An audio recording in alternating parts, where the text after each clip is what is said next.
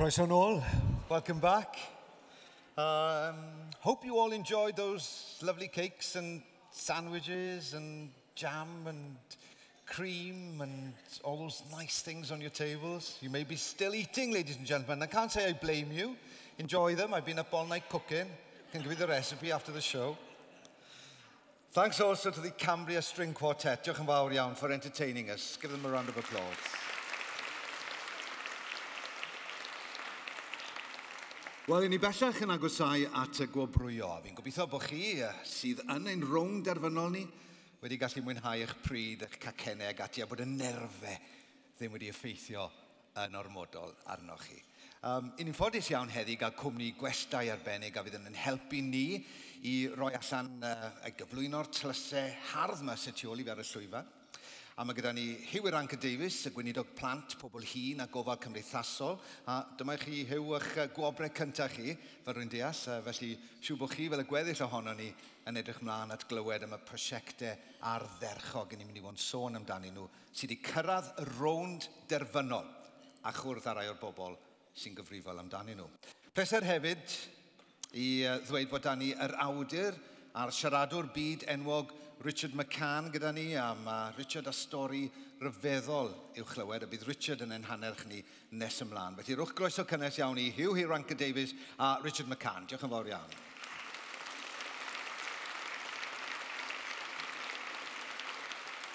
And we'll hear more from them shortly.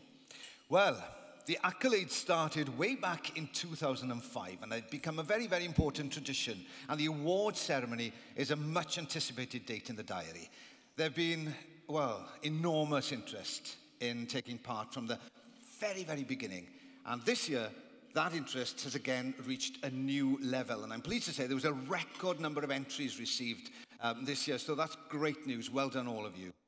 And to get here, all the submissions have had to impress the judging panel. And that's no mean feat. Um, the standards were high. And as the judges set very, very high standards, uh, is of course appropriate for public services um, that are among the most important we have in Wales. So those standards were really, really high. So you had to work very hard to get here today. Well, as I've already explained, I, I come from the world of broadcasting, television and radio. And some of you may think that's, I don't know, quite a glamorous world perhaps. Social work, social care, early years and childcare, they're not always seen to be at the front of the queue, let's put it that way, in the glamour stakes. Um, so our own, in our own small way, we're going to try and redress the balance today, uh, putting all your hard work well and truly in the spotlight, okay? Um, to the tens of thousands of people in Wales who receive some form of care and support every day, every hour, every minute, and those using early years and childcare services, all of you working in this business, you're all stars. And just as big, if not bigger, than any of those faces and voices that you hear on TV, radio, or cinema screens, okay? So before you go any further with today's ceremony, do you know what? Give yourselves a round of applause. Oh, louder than that. you deserve it. Diolch yn fawr. But when I stood on this same stage uh, back in was it 2015? Yeah, quite a few years ago. 2015, the 10th anniversary awards. The man who was chair of the Care Council at that time, well, he pledged that the accolades would continue um, after the change to Social Care Wales. And, uh, well, he was good to his word Because here we are again.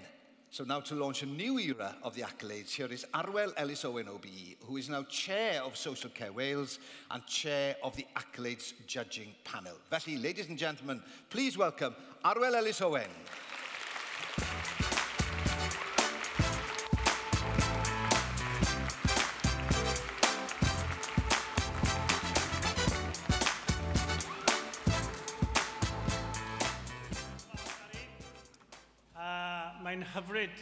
eich gwelch chi yma i gyd ac yn amlwg o'r gweneba a'r gwenu sy'n yna bod chi wedi mwynhau y wledd.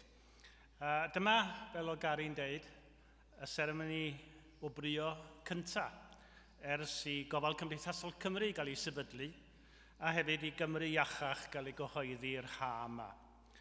Ac mae disgwyl nawr i'r sector yma nid yn unig gydweithio yn wahanol, ond hefyd cyflawni pethau gwahanol. Ac mae'r aclyd yma yn sbardun, yn uh, enghraifft syml iawn ac eto effeithiol o be mae'r chwildro yma pawb yn sôn amdano sy'n digwydd y maes iechyd a gofal. Ac da chi yn rhan anhebgor o'r chwildro hwnna. Mae yna brosiectau pneuma sydd yn llawn heiddi cael ei datblygu mhellach. fel bod syniadau lleol, eich brwdfrydedd chi, a'r gofal gwell sy'n deillio o'r modelau newydd da ni'n mynd i glywed amdanyn nhw heddiw yn cael eu gwobrio, ond hefyd eu bod nhw, chi, unillwyr, a rhai sydd wedi cyrraedd yr hestr fer, yn cael llwyfan cenedlaethol i ysbrydoli eraill i ddilyn eich patrymau chi ac i ddatblygu gofal a sicrhau bod pobl, lle bynnag maen nhw'n byw, yn cael y gofal gorau sy'n ar gael. Yda ni gyd yn wynebau heriau, gan gynnwys y galw di gynsail am ofal a chymorth yn ystod y degawd nesaf. Mae hyn yn golygu ein bod yn arbennig o bwysig i ddangos o'r holl bethau gwych sy'n cael ei gwneud bob dydd mewn gofal cymdeithasol, blynyddoedd cynnar a gofal plant. Ac nid yn unig i ynrannu ymarfer rhagorol, ond hefyd i godi proffail y gweithlu yma. A drwy wneud hynny, y gobaith ydy y byddwn ni yn denu mwy o bobl dda i weithio mewn proffesiwn sydd ddim wastad, fel oedd Gary'n awgrymu, yn derbyn y clod y mae o'n heiddi. Nawr, mae gofal Cymdeithasol Cymru wedi cael ei sefydlu. Ond ta waith am ba fynnag newidiadau a welwn ni mewn deddwriaeth, sefydliadau, strategaethau a chynlluniau, mae un peth ddim yn newid. A hynny ydy eich ymrwymiad anhygol chi bobl gyffredin i gynnig y gwasanaeth gorau sy'n ar gael i'r bobl hynny, y can mil a hanner o filiau sy'n dibynnu arna ni bob dydd o'r blwyddyn. Dim dibynnu arna fi, dibynnu arna chi bob dydd o'r blwyddyn. Ac fel cydeirydd y panel beirniadu, dwi'n ffodus iawn i fod wedi gweld, darllen a clywed am bob un o'r ymgeiswyr gan y beirniad. A tro hwn, roedd brydedd y beirniad wrth nod yn ôl i ddweud wrtha i ar panel be oedd yn hwn feddwl yn cael ei heiddi gael ei rhestr fer. Oedd hwnnw'n anhygol. A mae hynny'n dod o brofiad sy'n ymestyn felly gydw i'n yr accolades yn ôl deg mlynedd.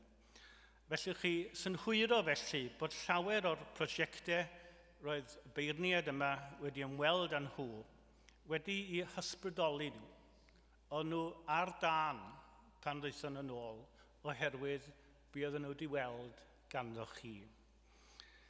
Eleni, da ni wedi cael y nifer, fel o Gary'n sôn, nifer uchel oed o geisiadau, ac hefyd ymrywiaeth eang o brosiectau. A mae'n braf gweld bod cymaint iawn ohonoch chi sydd wedi cyrraedd y rawn derfynol wedi gweithio mewn partneriaeth gyda gwahanol sefydliadau gwahanol, gan gynnwys sector annibynnol, gwirfoddol a statudol. Daeth y cysiadau o bob rhan o Gymru bron ac roedd yn cynnwys pob grŵp o ran oedran. Ac ym mhob un o'r cysiadau, roeddwn ni'n chwilio am dystiolaeth o'r ffordd roedd y prosiectau yma wedi arwain at ganlyniadau positif i bobl a sut oedd sefydliadau wedi medru datblygu sgiliau i staff. Fi oedd na rioed gwell cyfle i ddangos y gorau yn yn sector. Mae Cymru iachach wedi clusnodi 100 miliwn o bunna i'w fuddsoddi yn ystod y dwy flynedd nesaf i adnabod modelau newydd o ofal sydd yn gweithio'n lleol ac yna gyda lwc i cynhadu ar draws Cymru. Fel bod y 100,000 a hanner, 150,000, ddylwn ni ddweud, o unigolion sy'n dibynnu ar y wasanaeth gofal yn cael o fôn i fynwy yr un math o ofal. Chi y gweithwyr yn y sector gofal. Chi yn y falwyr o'r sector breifat, y sector gwirfoddol a'r sector cyhoeddus. Chi sy'n deall orau beth yma'r sector yma i angen. Chi sydd â'r profiad a'r sgiliau. Chi sydd ar brwdfrydedd i ysbrydoli eraill, bod nhw'n bartneriad neu eraill, i gydweithio gyda chi ac i anelu yn uchel. I always remember as a sixth form student learning Robert Browning's poem that included those lines, a man's reach should exceed his grasp or what's the heaven for? And I can remember my English teacher trying to explain to us what those meant, what those words meant. This is his definition. You can achieve more than what you think or others think you can.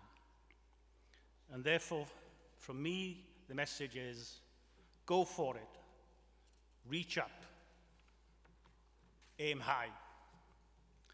I'd like to thank our many sponsors, their names are behind me here, for their continued support, and also the many partners whose representatives helped us a great deal with the judging panels.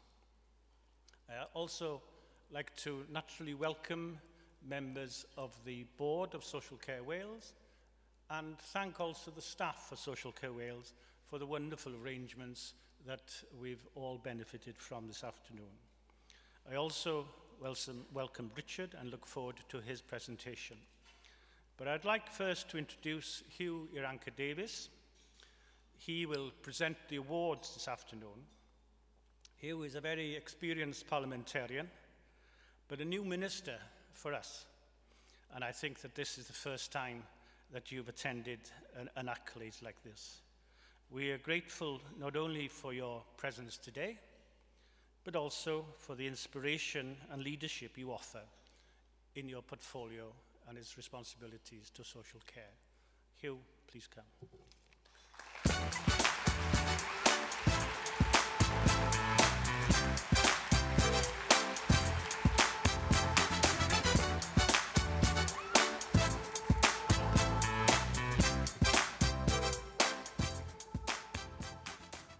diolch yn fawr iawn Arwel a, a Gary hefyd, diolch yn fawr iawn. Uh, a diolch hefyd uh, am, am fy nwahodd i yma heddiw. It's a real delight to join with you all today in these magnificent surroundings, but also on what I have to say is a magnificent occasion.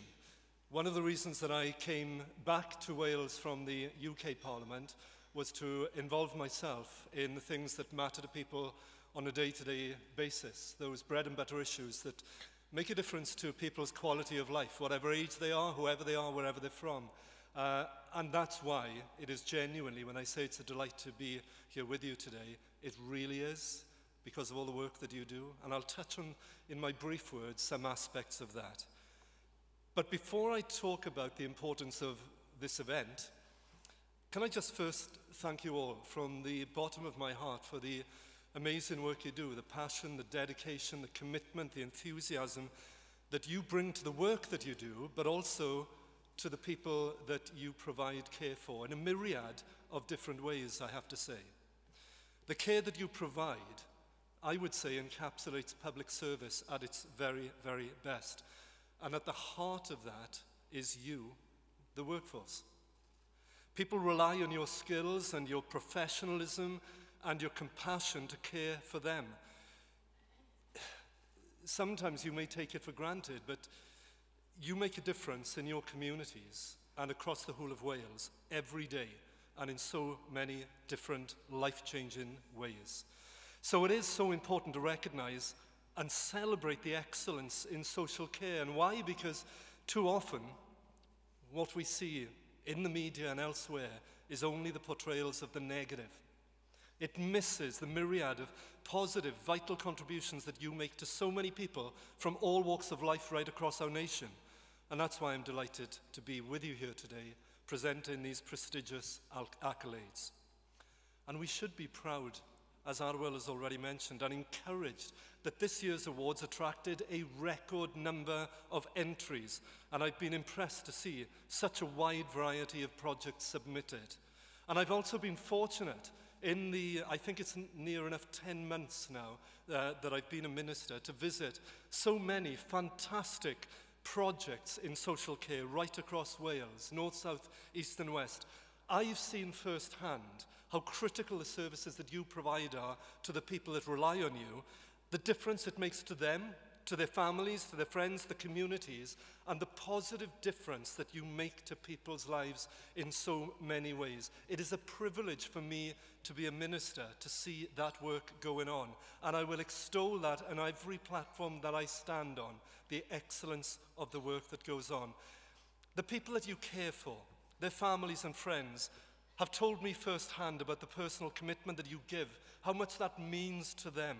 And I've listened while care workers explain their work to me. And I'm always struck by how strongly your pride, your passion for your work shines through.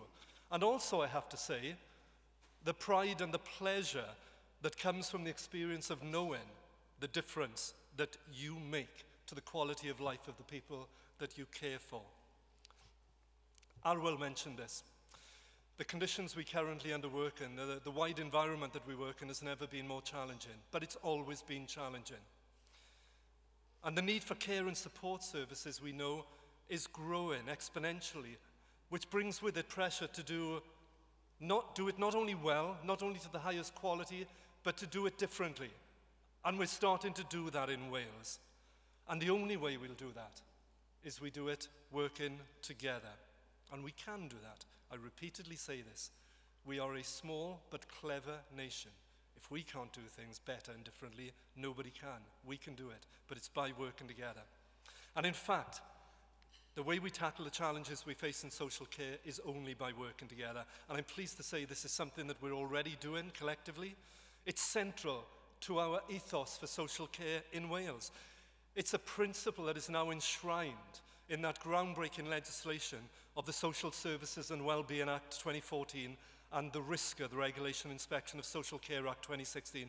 And I would say to you, that isn't just some highfalutin legislation. It's when I visited a care home, a residential care home in Newport, and a chap, I won't embarrass him by mentioning his name, he might be here today, a chap who was in the care home who was showing me around and the work that was doing on individual dementia plans with David, one of the residents there, working with him, working with their family, and so on. And he said, that's the difference that Wales makes when it takes a different approach to person centered care. We are doing it. And we're also committed to boosting the profile and the status of social care workers so that social care, in all its diversity, becomes a positive career choice where people are truly valued and supported and the work you do is recognised. and Social Care Wales are leading on the development of a campaign to attract and recruit and retain staff in the social care sector and to publicise that positive image of social care work, which so many of you here today exemplify. And we hope that that campaign will launch in January. Felly, mae digwyddiadau fel hyn, a'n gwobrau gofal cymdeithasol, yn ffordd o arddangos yr ymroddiad a'r gwaith caled sy'n digwydd y tu ôl i'r llenni bob dydd. Felly, wrth i ni ddathlu a thynnu sylw, sylw at waith yr enillwyr, gadewch i ni hefyd ymfalchio yng ngwaith pob un ohonych chi sy'n darparu gofal eich ymorth a'ch cyflogi'r sydd wedi eich cefnogi a'ch annog chi i lwyddo. Rydwch chi i gyd yma heddiw am eich sgil a'ch chymdroddiad rhagorol. Mae'n anrhydedd i mi gael bod yma gyda chi i gydnabod a dathlu eich llwyddiant. Diolch yn fawr iawn am gwrando. Diolch o'm galon. Thank you from my heart for all the work that you do. I'm delighted to be with you and I'm looking forward to being with you here and seeing all the prize winners and all the effort this afternoon. Diolch yn fawr iawn.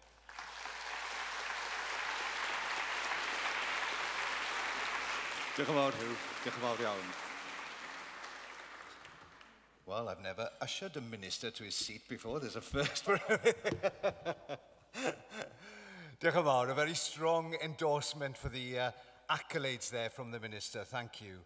Uh, thank you also, Arwel, for giving us your thoughts about the awards and also for your enthusiasm and your dedication to your role. Diolch yn fawr iawn i chi. Well, before we go any further, right, I don't know, are there any um, tweeters amongst you? Anybody on Twitter? Yeah? Um, quite a few of you, I should imagine. Oh, I can see. Yeah, good for you. Excellent. Um, share your experiences with others, okay? Um, use the hashtag. If you're looking for a hashtag, it's hashtag accolades Cymru neu hashtag gwobre Cymru yn Gymraeg. Un gair. Hashtag accolades Cymru, hashtag gwobre Cymru yn Gymraeg. Right? I'm a bit of a Twitter fan myself. I'm getting a bit itchy now, to be honest, because I put the phone away for now. But don't worry, I'll be retweeting you later on today, okay? So I'll be keeping an eye out on those photos and what have you. But yeah, get tweeting, get people interested, get the message out there, what's happening here today, right? It is important, and it's a quick, easy way of telling people, you know, why we're here and what we're celebrating. So get tweeting. Now 10. Um, yeah, I, they tell me there's people following us, right, from all over the world almost, because I'd like to ask you all to show me your teeth. Well, no, no, no, no, no, put them back in. Put them back. no, because it's a chance to smile, right? Because we're actually, um, well, we're broadcasting this live over the internet, believe it or not. And we usually get hundreds, if not thousands, of, of people watching us from places as far away as, I don't know, Australia, Pontypridd, um, and I should imagine there'll be just as much interest this year. So just for you to be aware that it is, is also being broadcast. Right. Okay, let's move on and put at least some of you, some of you out of your misery um, and just get those nerves getting a little bit quieter, okay? Um, we're building up the tension on, on, on, on uh, this occasion. It's an important, it's, it's a big event, okay? So we've got the minister. He's here ready on stage and he's going to be handing out the awards. So let's make a start. For each of the categories, we will have a perspective from the judging panel. Now, Sue Evans, Chief Executive of Social Care Wales and Deputy Chair of the judging panel, was to have been here uh, today to give us that perspective. However, I'm really sorry to say that due to a family bereavement, Sue can't be with us today. And I'm sure that all of you want us to pass on your best wishes to Sue at this sad time. But in Sue's place, I'm delighted to welcome Gerry Evans, Deputy Chief Executive of Social Care Wales. Now, Gerry stepped in at the uh, 11th hour, so to speak. Uh, we're very, very grateful to him. So give him a very warm welcome to the stage, ladies and gentlemen. Gerry Evans.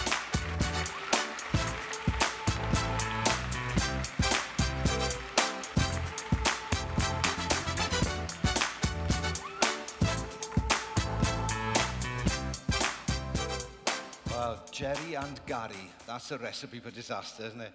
How are you feeling, Gerry? A bit nervous? First, first accolades? Uh, just a little bit, Gary, yes, yes. Um, but I've been given a script and I've been told to stick to it, which won't come naturally to me. But, Sensible. Yeah. Um, but I'm probably not as nervous as many of you in this room are. Um, I'm sure you're desperate to find out the results of, uh, of, of the, uh, uh, the accolades. Um, to be honest, I'm really looking forward to this bit. Having been in, I think, all of the accolades, it's actually been a really positive experience. It's one which I know people have treasured for a long period afterwards. Um, during the judging process, the judges uh, met some incredible people um, doing excellent work, and the sheer enthusiasm and pride in what they did uh, was inspirational. And as Arwell indicated, our board members and other judges actually came back full of enthusiasm about what they'd witnessed. Um, uh, what they thought was people with working with enthusiasm and pride in what they did, and actually it was obvious that they were determined to do their very best for the people that they worked with. Many of the things that the Minister just highlighted were witnessed by our judges. Uh, once again, it was great to see so many projects being run as partnerships between different organisations and groups. Uh, there was also plenty of evidence that people are not standing still uh, with huge amounts of effort going into developing new ways of working and improving practice. Uh, all the finalists show that their projects had a positive effect on the people's lives, and that was the bottom line as far as the judges were concerned, that these projects were having an impact. Um, and that staff uh, had encouraged and, and worked hard to improve those services. For those of you that have been studying today's programme, um, you may have noticed that only seven of the eight original categories are being awarded. Um, the reason is that the judges felt that the projects on the use of new technology uh, to improve services category were yet ready to be finalists. Uh, the judges did go out and visit two projects, And although both had their uh, merits, they were at an early stage of development and the judges felt too early to reach the final. However, the judges were keen that we, uh, we thanked those projects uh, for putting themselves forward. Uh, both had shoots of brilliant ideas and plenty of enthusiasm. Hopefully, when the accolades are run again, these projects will have developed, and others also as well, hopefully, and will be much more enhanced uh, and in running for, uh, for an award. Uh, as the Minister and Arwel said, the people the judges met went beyond the minimum standards uh, and their everyday duties. Uh, we should recognise and praise their commitment, and encourage that culture of sharing and learning from each other. Um, we didn't get any entries from some parts of Wales. Uh, and the number of submissions uh, uh, led by private and voluntary organisations were lower than those from the public sector. Uh, again, a development we would hope to see change over time. Uh, but we know there are plenty of excellent practices out there and um, we'll be redoubling our efforts to make sure that the next accolade brings that, those examples out. Uh, but as they say, you've got to be in it to win it. So that's the message for everybody. And judging by the number of people here today, a lot of people have been in it. So we will be finding out who's won it. Okay. So a big thank you to everybody that's been here, uh, has been helping. Uh, and uh, thank you for the effort in entering these prestigious awards. We know it's a busy time for everybody, and the effort required to enter is great. But thank you all for the efforts you made. Um, I'm particularly looking forward to seeing the short videos. Each of the projects uh, in the final will have a short video demonstrating uh, a flavour of what that project's about. There's a slight disappointment that none of those projects felt uh, inclined to actually present their project through the medium of Welsh. So again, that's an area we'll be looking to develop into the future. Okay, to you, I think, Gary. Thank you, Gerry. Thanks very much. And we'll be hearing much more from you shortly because you're going to be sharing with us the judging panel's comments about the finalists. And we'll be also be asking representatives from our sponsors and others to come up here on stage with me and announce the winners in each category, okay? And the way it'll work is that Gerry and I will be alternating between Welsh and English for the rest of the ceremony. So please make sure, make sure that you have your simultaneous translation headset at the ready, otherwise you won't know what's going on, okay? Um, Fran back then on table 20, we had a quick little chat, Fran, during the, uh, during the lunch break, didn't we? There we are. Hi, Fran, you okay? And Fran was telling me the translation services are working really well, so da iawn chi. Okay, Fran, a round of applause. Well done, Fran. Diolch yn fawr. So that's how it's going to work, okay? So I hope everything is working fine with you and you're not having any problems. If you are, as I said earlier, there are people dotted around the room in t-shirts and what have you. They'll be quite happy to come along and try and help you with that, okay? Iawn de.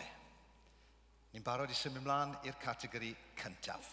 Gwasanaethau sy'n cael eu harwain gan ddinasyddion sydd wedi noddi gan rwydwaith cydgynhyrchu Cymru. A diolch yn fawr iawn i chi, yr rwydwaith cydgynhyrchu Cymru am eich cefnogaeth. Diolch yn fawr iawn i chi. Wel, un o brif egwyddorion y ddeddfwriaeth gofal cymdeithasol ddiweddar yw'r angen i drin pobl fel unigolion. Canfod beth sy'n bwysig iddyn nhw a wneud yn siŵr eu bod yn cael dylanwad cryf ar y math o ofal a chymorth maen nhw'n ei dderbyn. Ac yn y categori hwn, oedd y beirniad yn chwilio am fodelau lle mae bobl sy'n derbyn gofal a chymorth, eu teuluoedd a'i cymunedau yn gweithio gyda'i gilydd i gynllunio gyda'r pari'r gofal a'r cymorth sydd i hangen, iawn? Ac o'n nhw hefyd am weld gwasanaethau gofal a chymorth sy'n cael eu llunio gan y rhai sy'n ei defnyddio nhw, fel eu bod nhw'n diwallu i anghenion yn well. A hefyd, enghreifftiau o ddysgu a datblygu dan arweiniad pobl sy'n derbyn gofal a chymorth neu ofalwyr sydd wedi cael effaith fawr ar staff sy'n darparu'r cymorth hwnnw. Felly dyna ni, dyna'r anghenion, okay? The requirements. Wel, mae yna ddau brosiect wedi cyrraedd y rown derfynol yn y categori hwn, dau brosiect. Cyngor Bro Morganwg ar gyfer ei prosiect Your Choice a PSS Wales sydd wedi leoli yn Abergele ar gyfer ei prosiect cysylltu bywydau Cymru. Da iawn. Dewch ni gael blas nawr ten. Dewch ni edrych ar ddau ffilm byr a cael blas o'r prosiectau hyn yn y ffilmiau. Diolch yn fawr.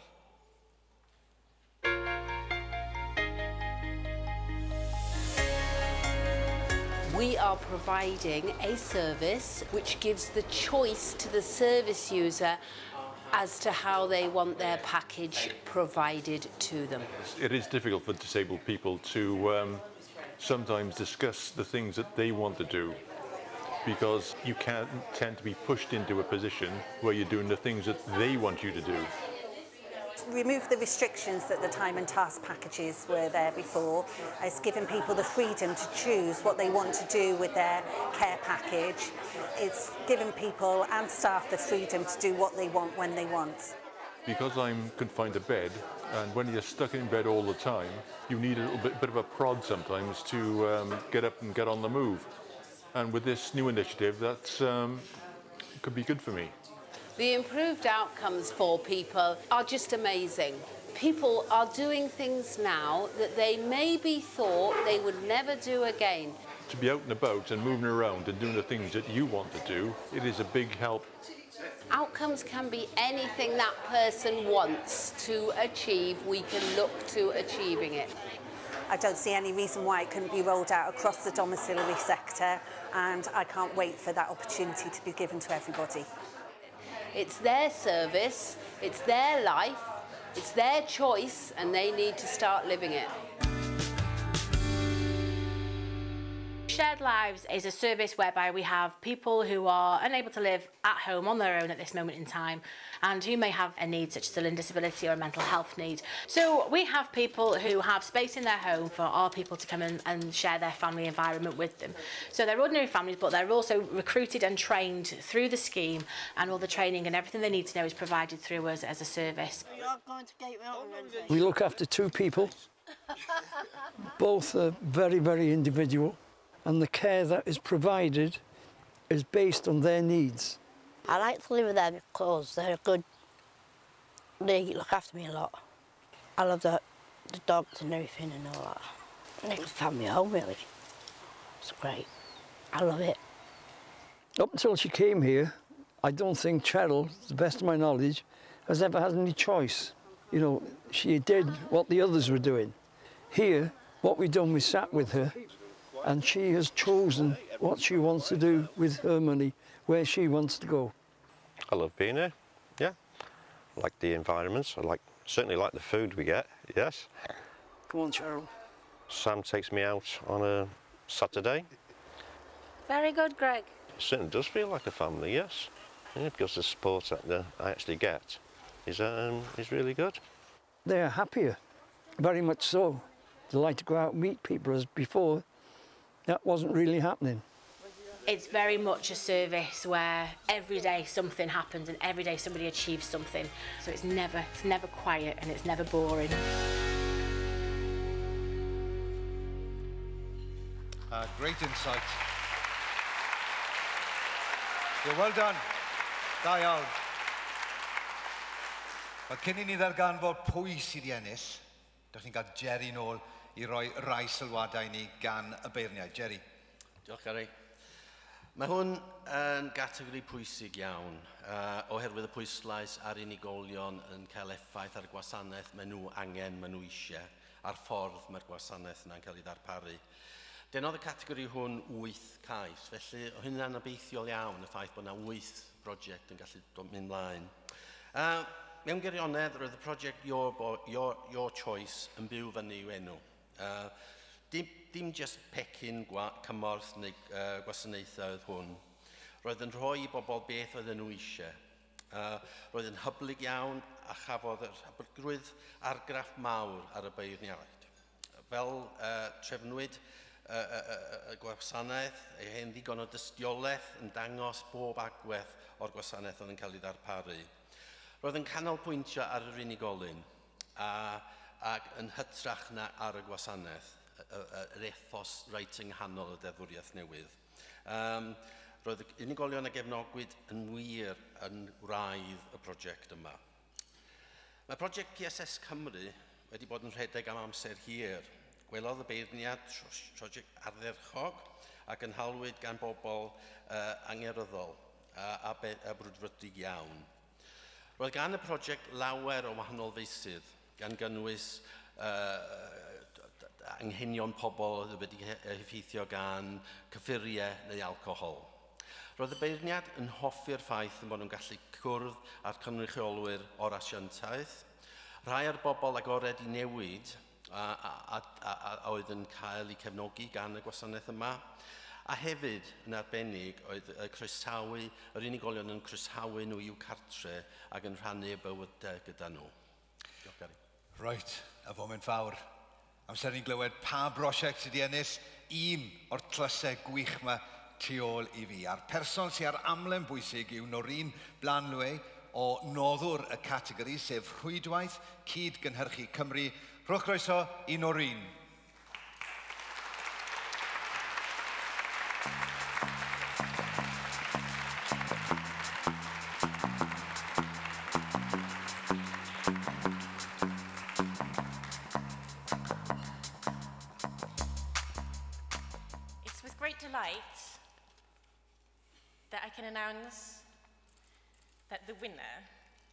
citizen-led services category is the Vale of Glamorgan Council.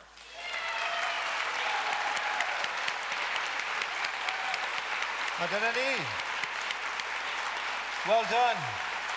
Enillwyr y categori Cyngor Bro Morganog am ei prosiect Your Choice. Dewch lan i dderbyn y wobor Andrew Cole a Ceri Llywelyn. Dyma nhw, llongrwchiadau mawr. Congratulations.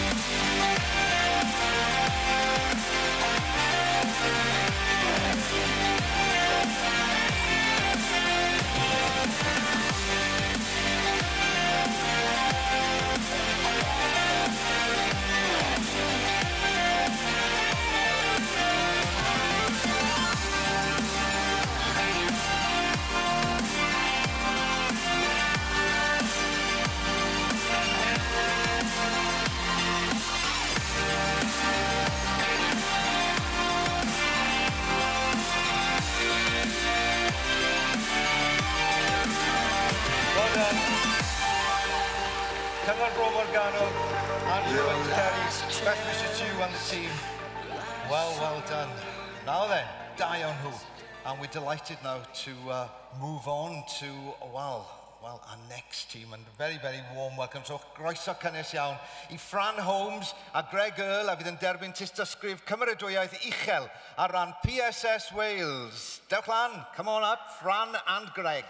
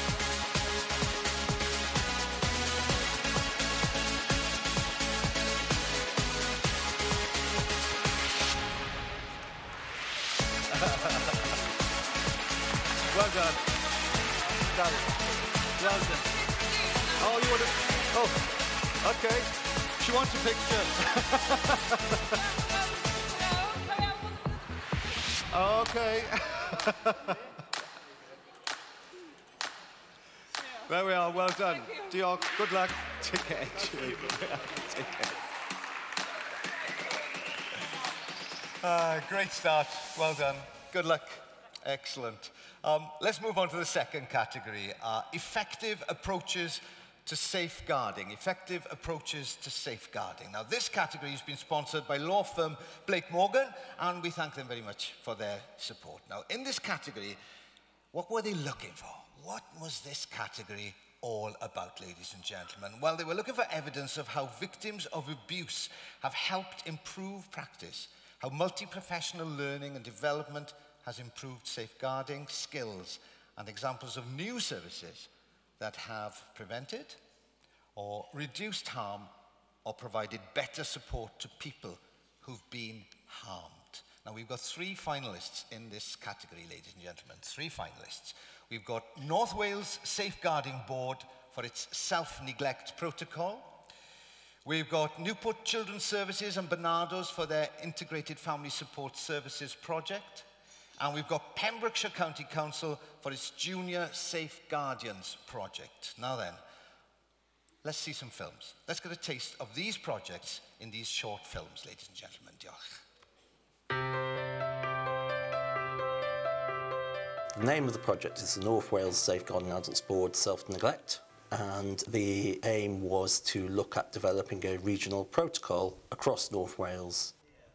The protocol is a way of getting people around a table, getting individuals from different agencies, from housing, from the police, from the fire service, from, all the different agencies, uh, where there's a concern about a person who might be neglecting themselves. It gives us a, a template, it gives us a, an agenda for holding meetings, it gives us a process for assessing people. So there's a standard way of doing it. Well, the type of things we see is obviously concerns around individuals who potentially self-neglect, individuals, for example, who hoard. If we possibly can, we'll involve the person in the meeting. Often that person wouldn't want to be involved in a meeting. It might be the last thing that they want to do. But perhaps we'll have an advocate, we'll have somebody to support them and somebody representing their voice. We've seen, for example, reduction in the level of risk, the level of fire risk, and we've been able to identify also across North Wales better multi-agency joint working. In the past, we would have done things to people. Today, we want the person to be right at the middle of everything that happens, uh, and nothing should happen to them without them being involved. We support families in a variety of areas um, relating to parenting, um, domestic abuse, substance misuse, and we provide one-to-one -one support for families in addition to parenting groups. To ensure good outcomes for families, we enable each family to set their own goals to enable them to embed and sustain change so that they are enabled to have their children living with them long term and the whole aim is to prevent children coming into care. We had a referral done through social services in the hope to support us with our son. He had lots of mental health issues um, behavioural issues. The impact, the turnaround has been fantastic. We've now got a very happy 17-year-old that understands himself more. To enable us to um, help families to make change, what we will do is we will undertake an assessment with them and then we will help them to identify their goals and what they want to change. This is in conjunction with Children's Services. I think one of the things that keeps me going in this line of work is seeing the way families can overcome some of the most unbelievable hurdles to keep their children home with them and to see the point where we end, whereas children can just be children and families can thrive and prosper without any intervention, is a really wonderful feeling. We have just been guaranteed a further seven years um, contract with Newport. He wouldn't, he wouldn't be here if I didn't have these people sort of supporting me. Oh, yeah, he, he was. He, he, he wouldn't be with us. The project is called Junior Safeguardians, and that's about young people getting involved in safeguarding and having a voice about safeguarding in Pembrokeshire. We come together once a month and the issues that affect young people in Pembrokeshire. From there then we create projects and also talk with our decision makers to try and make an awareness of those issues and reduce them in Pembrokeshire. The main benefits of the project is that we are empowering young people to know about safeguarding and enabling them to raise concerns. We can tell decision makers and influencers what it is that young people are actually facing within Pembrokeshire. One of the key things that we do is that we hold an annual safeguarding conference for young people. So we invite representatives from every secondary school to attend. Our conference is a great way to communicate with people across Pembrokeshire about issues. We also educate young people on the current issues that are affecting them. Like last year, we talked about cyberbullying and we've also talked about CSE and other issues. I also think in Pembrokeshire, we've really turned a corner in terms of listening to young people and people are really valuing what people, young people are saying.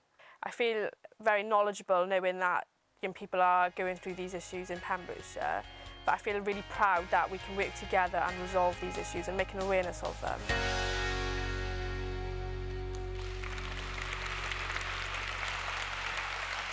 Yeah, three great finalists. Well done, all of you. Let's get um, the judges' thoughts on, uh, on those three projects now. And uh, Gerry. This was a very strong category uh, and it generated a huge amount of debate amongst our judges. And those of you who've met them will know that they're quite a feisty bunch, so that was a, quite a heated debate. This is good news for Wales because this is the bottom line of social care and social services, keeping people safe. Although there were only six entries, the standard was very, very high. Um, the shortlisted projects visited by the judges uh, where they agreed all of a very high standard. Such was their quality that it took some time for the judges to agree who should win and who should be highly commended. Judges found all three projects truly inspiring. Um, so you can take it from me that the difference between these projects is wafer thin. So I hope that's uh, some consolation to those who might not have won, but they were excellent projects. The self-neglect protocol is a very exciting and innovative collaboration which brings huge benefits. The judges were impressed by many aspects of excellent social work, with a readiness to share learning across services, including utility companies and rescue services, the sense of commitment which came through strongly, and the focus on relationships and trust. The judges felt that the social workers and the nurses who were part of this project were all doing a fantastic job. In the words of one of our judges, who is a qualified social worker, she was blown away by the standard of social work practice shown by the project run by Newport Children's Services and Barnardo's. Um, judges found the project to be creative, engaging, with the workers, again, doing some fantastic work. They liked the fact that it was not just preventing risk, but also helping families learn how to prevent harm. In the judge's opinion, this would be a project that would want to see mainstreamed across the whole of Wales. Then finally, the, the judges said they met an awesome group of young people when they visited the Pembrokeshire Junior uh, Safe Guardians project. It was a unique project that started after one local school had experienced several suicides amongst its pupils. Uh, workshops are held to speak to pupils uh, from local schools so they can go back and share the messages with their friends.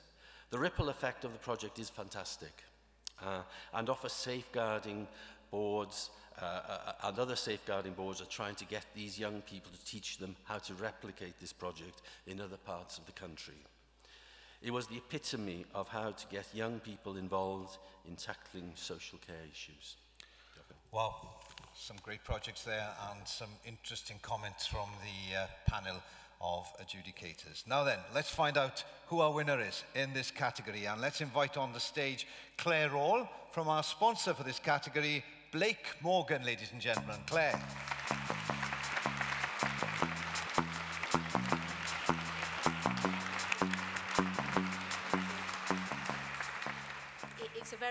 great pleasure for Blake Morgan to be afforded the opportunity to sponsor uh, this award and our congratulations go to all of the finalists. And the winner of uh, this category, I'm delighted to say, is Newport Children's Services and Bernardo's. Well done. Thank you. Thank you very much, Claire. Newport Children's Services and Bernardo's. Congratulations to them. Here they come. Heidi Goodwin and Vicky South.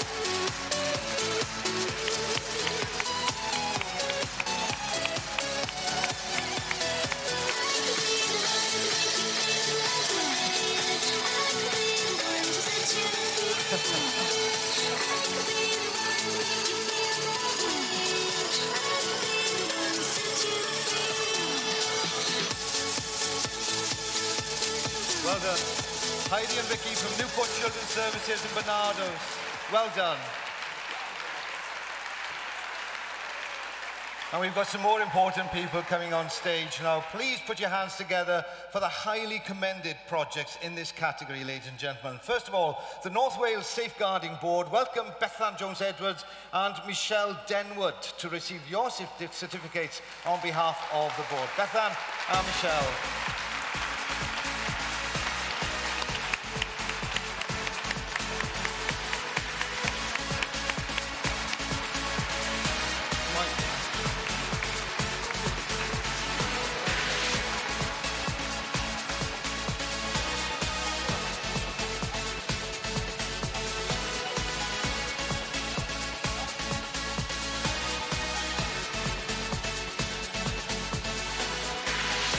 Well done to Bethan and Michelle. Well done. And next, ladies and gentlemen, the same, please, enthusiastic welcome to the second highly commended project in this category. Pembrokeshire Junior Safeguardians. Come forward, Jamie Bevan and Bethany Roberts, please. From Pem Pembrokeshire County Council. Well done.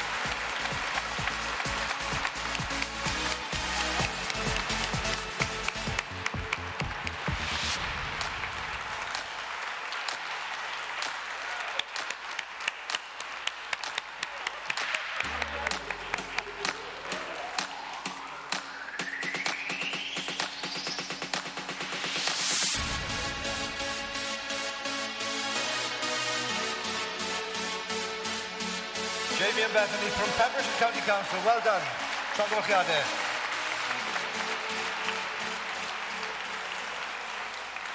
Diolch yn fawr iawn. Well done all of you. Excellent. Wel, mae bellach yn amser i symud ymlaen i'r trydydd categori, sef defnyddio data gymchwil i gefnogi gwaith atal, ymyrraeth gynnar ac effeithiolrwydd. Ac yn y categori hwn, oedd y beirniad yn chwilio am lot o bethau. Ond yn chwilio am nifer o bosibiliadau, fel defnyddio tystiolaeth o'r hyn sydd ei angen i atal y galw, neu ymyrraeth gynharach i leihau y galw am wasanaethau. Ac o'n nhw hefyd yn chwilio am enghreifftiau o sut mae lleisiau dinasyddion yn siwio'r gwaith o gynllunio gofal a chymorth. A dyna sut y defnyddiwyd gwybodaeth o ymchwil um, ar beth sy'n gweithio'n dda i wella gofal a chymorth. Wel, dyna ni.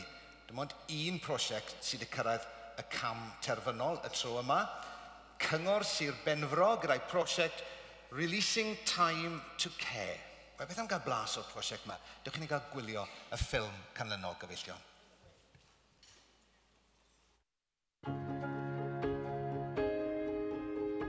The project started as a result of some research that was done where they had already found that up to 40% of people with existing double-handed care packages could be supported by a single carer. The aim would be to enable more people to be more independent and to Yeah, yeah. I think it's fantastic because it's developed around the person and that makes a heck of a difference. They're less dependent on schedules and carers um, as a result of having the equipment in order to enable them to live the life that they want. I'm not depending on people to do things for me, I can do them for myself. Promoting independence helps people have more dignity as it allows us to step back and not be so hands-on with people, touching them all the time and allowing them to roll themselves or do a bit more for themselves. As far as wider outcomes are concerned, there's training for carers, so they're more competent in what they do day to day. Um, it releases time for care agencies so that they can look after more people. And we're hoping that over this next year we can prove that reducing the number of carers will improve on delayed transfers of care from hospital too. Keeping them at home, in their own homes, I know that's a big thing for a lot of people. It's improved my life because I've got my own independence back. Well done. So, how is this going to work now then? Huh? Wel, mae'r panel berniadu'r gwobrau yn gwneud yr un peth a maen nhw'n gwneud mewn cystadlaethau yn yr Eisteddfod Genedlaethol. Felly, hyd yn oed os taw dim ond un cystadleuedd sy'n cyrraedd y rownd derfynol, a dyw hwnna ddim yn golygu bydden nhw'n ennill y wobor, okay?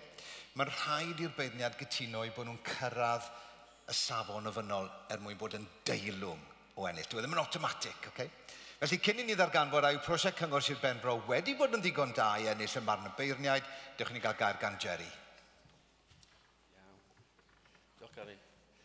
Um, roedd hwn yn gategori newydd, ac a doedd o'n di denu chydig bach iawn o geisiadau. A falle bod hynny'n adlywyrchu lle dyn ni wedi cyrraedd yng Nghymru yn hermed defnyddio data ymchwil i, i, i, i feddwl am sut i ddatblygu gwasanaethau mewn ffordd effeithiol. Um, Mae'r hwn yn rhywbeth mae gofal Cymdeithasol Cymru hefo partneriaid yn trio symud ymlaen a felly dyn ni'n gobeithio gweld y categori yma yn cryfhau dros y blynyddoedd nesaf yma. Ond, uh, gan mae'r prosiect Sir Benfroedd yr unig un, a, a, a, a'r ni'n weld a, uh, gan y beirniadydd. Rwy'n symwybodol ar angen i benderfynu yn gyntaf a ddylai gyrraedd y rawnd uh, derfynol. Ac yn ail, ac ar ôl cyrraedd yr ail uh, uh, rawnd derfynol, oedd yn heiddi ennill y uh, uh, uh, wobr. Um, prosiect aml asiantaethol oedd hwn sy'n edrych i gael uh, gwared o'r rhai'r chwedlau o gwmpas trafod a llaw er mwyn penderfynu oedd angen dau o falwr i gefnogi pobl. Rhywbeth dwi'n gwybod bod llawer o wasanaethau gofal cartre a hyd yn oed uh, cartrefi gofal yn, yn, yn, yn dod ar draws bob dydd, bob awr.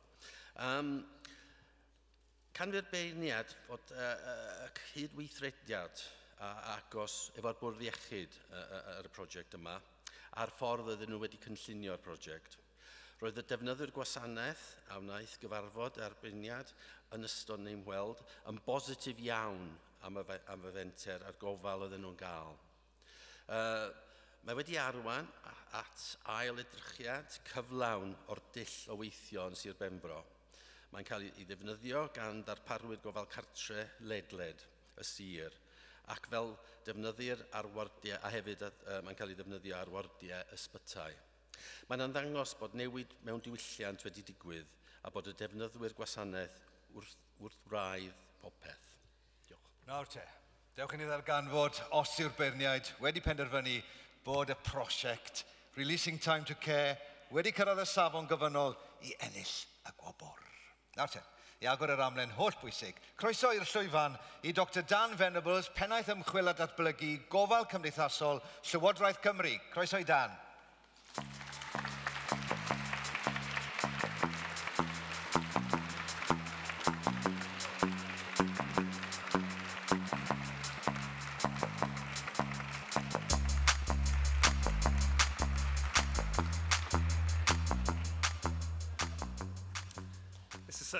To uh, be asked to do this. Uh, I really feel like uh, we are not worthy. The judges have decided that in the use of data and research to support prevention, early intervention and effectiveness category, the finalist, Pembrokeshire County Council, is worthy of winning an accolade.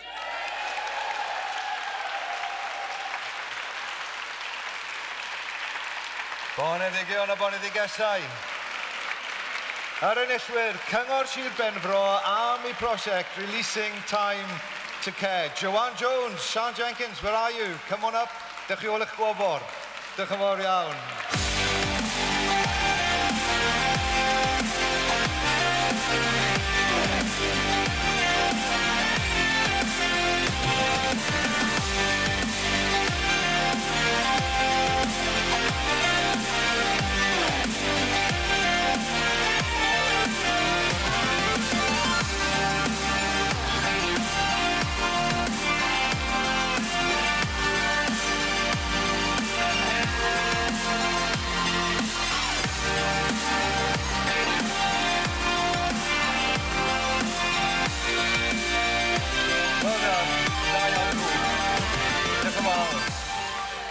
Know what?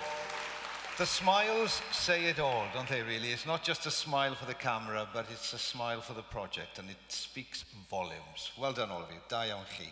Let's move on to the next category of the awards now then. Developing a confident and sustainable workforce, sponsored by the GMB Union. And a big thank you to the union for their sponsorship of this now then. And in this category, the judges were looking for examples of better recruitment and retention in social work, social care, or early years and childcare developments uh, that help practitioners add to their qualifications and skills, successful initiatives that have encouraged people to choose care as a career and examples of reaching underrepresented groups. An important category. Let's see now then who are through. Who are the finalists in this category, ladies and gentlemen? We've got Bridgend County Borough Council for its project to support newly qualified social workers during their first three years. Ah, uh, yeah, where are they? Come on, let's, let's hear it for Bridgend County Borough Council. That's it. And let's hear it for Right at Home, Cardiff and Newport, for its project staff development through improved communications and bespoke training tools. Let's hear it for Cardiff and Newport, Right at Home team. Okay. And for those of us, and many of us here perhaps who aren't familiar with what these projects do, let's have a look at a few films and it'll give us a better insight to the work done.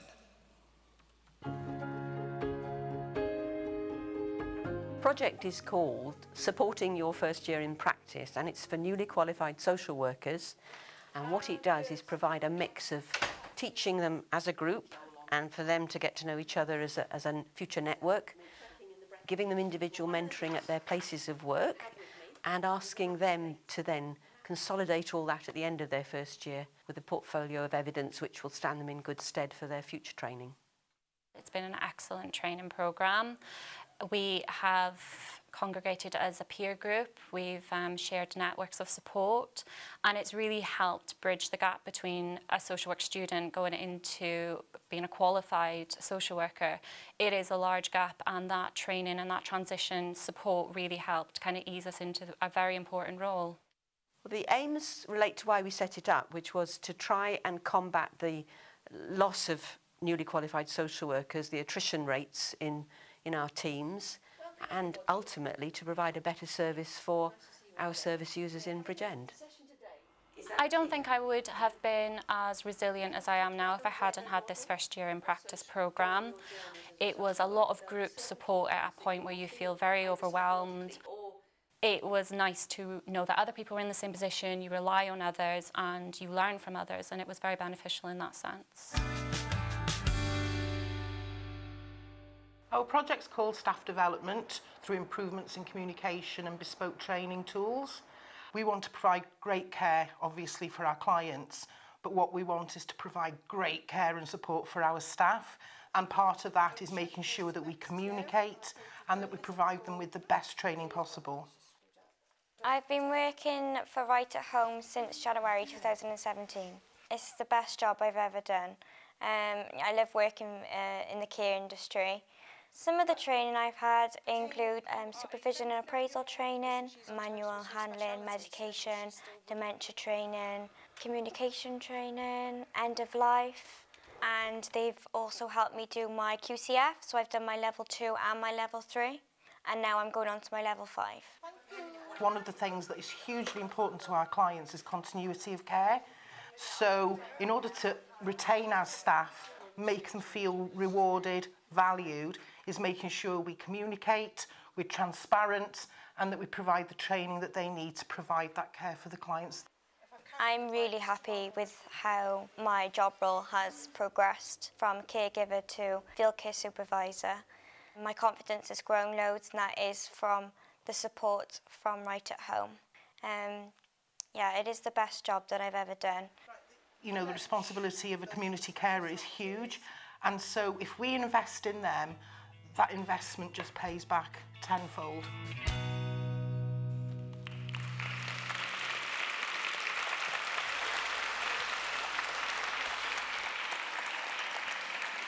Do you know what? I really wouldn't like to be judging these competitions because, you know, looking at these films, all these projects are Fantastic. Well done, all of you. So, before we find out the winner in this category, let's hear from Gerry what the judges had to say. some very important messages in those films, I think. Okay, developing a confident and sustainable workforce is a category that's been ever present since the accolades started. Because as Arwell said earlier, the workforce is our greatest, greatest asset. That can sound like a bit of a cliche, but we all know that it's true. Um, and therefore, central to actually a healthier Wales, the, the new government document, is actually taking care of our workforce. We have to do that in, in the right ways.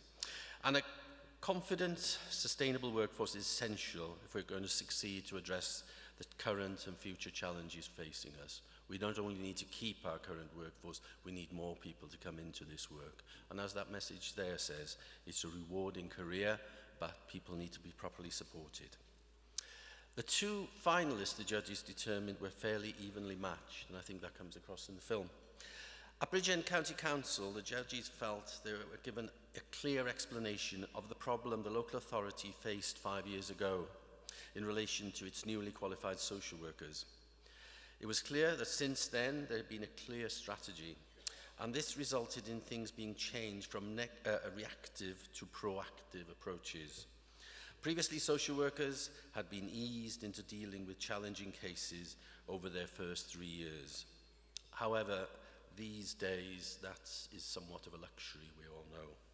But with a combination of intensive support, coaching and mentoring, newly qualified social workers told our judges that they felt well supported and able to cope with challenging cases during their first six to nine months. And I think many of us can imagine what those first six months could be like. Okay. Judges were, felt also very positive about the commitment to staff development and training at Right at Home. The organisation had doubled in size and staff turnover was very low, which is somewhat of a rare thing to be able to say for many organisations now. Overall, it was felt that Right at Home were very energetic and positive about what they were doing. For the judges, one of the most impressive features was the continuity resulting from low staff turnover. That continuity they felt was critical. Um, uh, quick recruitment was featured as well, and dealing swiftly with any complaints that uh, they encountered. It, it was felt that they were at top of their game, was the term that was used. It was also impressive that they were able to show clearly the link between their investment in their staff and the quality of outcomes for the users of their services. Well, thanks, Gerry, and uh, I hope that gives you an insight into the thoughts of the panel when they were looking at these um, projects and deciding what the end result would be. Now then, let's find out who our winner is by inviting onto the stage Kelly Andrews from GMB, the sponsors of this category. Kelly.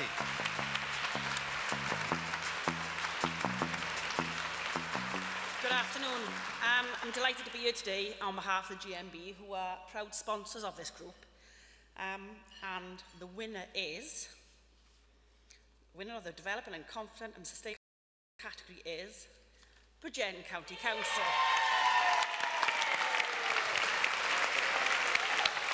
Well done. Llongyfarchiadau, Bridgend County Borough Council, supporting newly qualified social workers. Come on up, Claire Holt and Jodie Sims from the council to receive your awards. Here they are. Coming up to the stage here. Well done.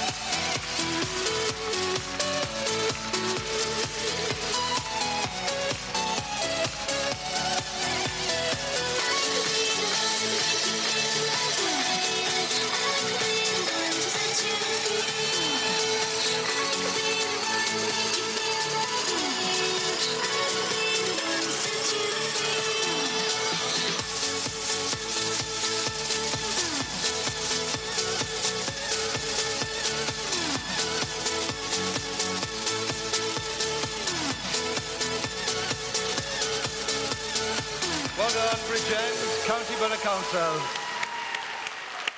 and their loyal supporters. and ladies and gentlemen, one of the one of the guests, please put your hands together. Oh, and these also deserve a lot of applause. Let's let's hear the applause ringing through this hall this afternoon now then for the highly commended project in this category. Right at home, Cardiff and Newport, represented by Vivian Foley and Joe Gwishard.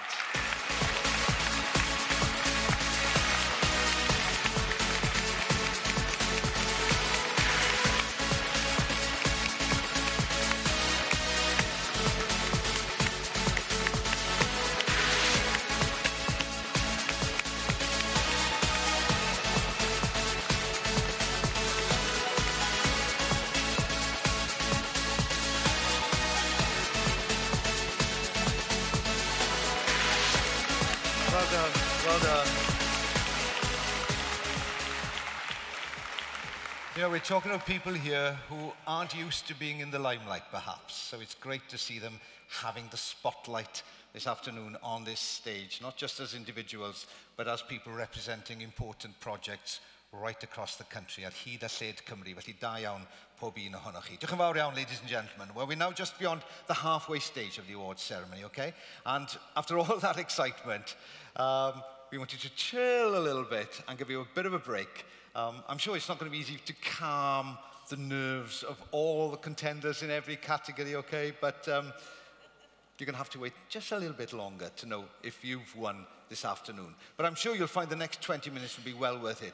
We can give our minister a break from handing out the trophies and the certificates. So, sir, you can go to a perhaps more comfortable seat in the, in the hall as we move on to our next item. Well, ladies and gentlemen, I've been really looking forward to this. Um, and I'm sure many of you will as well. We're very, very lucky today, ladies and gentlemen, to have with us best-selling author and world-renowned speaker Richard McCann.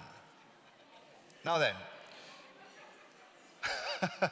there's a lot of celebrating still going. I don't blame you. I really don't blame you. Enjoy the afternoon. Enjoy. But I'd just like to tell you a little bit about Richard. He's fresh from speaking at the National Social Care Conference this morning. And I'll say by way of introduction that um, Richard has faced some huge challenges in his life. And he knows a thing or two about the important difference people like you, sitting at these tables in this hall this afternoon, the difference that people like you can make to those you support at difficult times in their lives. Croeso, yn ni'n falch iawn i gael e yma gyda ni yng Nghaerdydd, and we're all looking forward to your address. A very, very warm welcome, ladies and gentlemen, on stage to Richard McCann.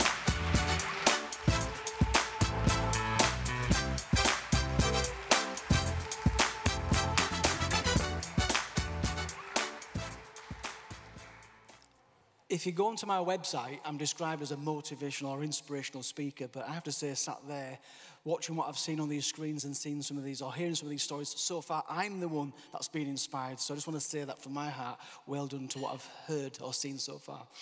So, yes, I have been through some challenges, you're right. So, can we maybe get those challenges out of the way? That thing that I'm known for. If, you you've read the brochure, you'll know what I'm talking about. I want to get it out of the way. The elephant in the room. I meet people outside and I can see the look in their face. Can I talk about it? Is it okay to bring it up? And let's get it out of the way. It is true. If we can just go to my first slide. It is true. Many, many years ago, I was born with ginger hair. I was born with. Do we have any gingers I can't see from these lights? Do we have any gingers down here in Wales? We've got one there at least. That was me. Age. Can I show my first slide, please? It's, uh, this is me, age five. Uh, teenagers used to laugh at this, but not anymore. That was me. Look at that. You might not have known this, or you might not know this to look at that, but we were brought up, me and my three sisters, on the at risk register. We lived on a housing estate in North Leeds, uh, a few, few miles from here. That was the local shop. I used to go to. And uh, we had 126 visits by the social workers by the time I was five. And I don't really remember much about that until I got the file and I read some of the beautiful stories. One story in particular about one of the social workers that had taken it upon herself to come to the house with some shoes. With some shoes for, for, for, for the children. I, I love that. And some, there was some bedding as well that she brought. I didn't know these things. That's the kind of things that you, you do, I suppose. And This is a picture of me and my mum and dad, and if I, um, I'm not sure how to handle this. I'm, I'm trying to show my slides, but obviously you're flipping, flipping between the camera. This is a picture of mum and dad, and uh, sometimes they would leave us in the house alone while they went to the pub, and I'd, you know, I didn't really know about that. I couldn't remember that, but um, a week before my sixth birthday, and I've not got time to tell you all the detail, but the fact that we were at risk suggests there were things going on in the house that should not have been going on. I won't tell you the detail right now. A week before my sixth birthday, my sister Sonia um, shook me awake. Look at that haircut. And she said, Richard, wake up.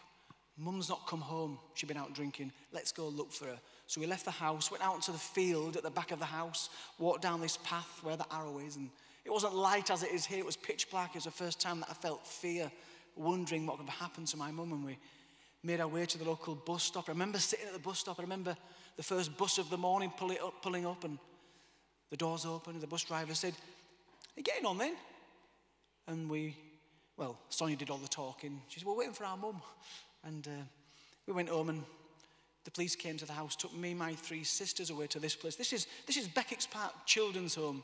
I have to say, before this, I had spent some time with foster families because mum used to have breakdowns. She was on psychiatric wards and such like. But we arrived at this children's home. I quite enjoyed it.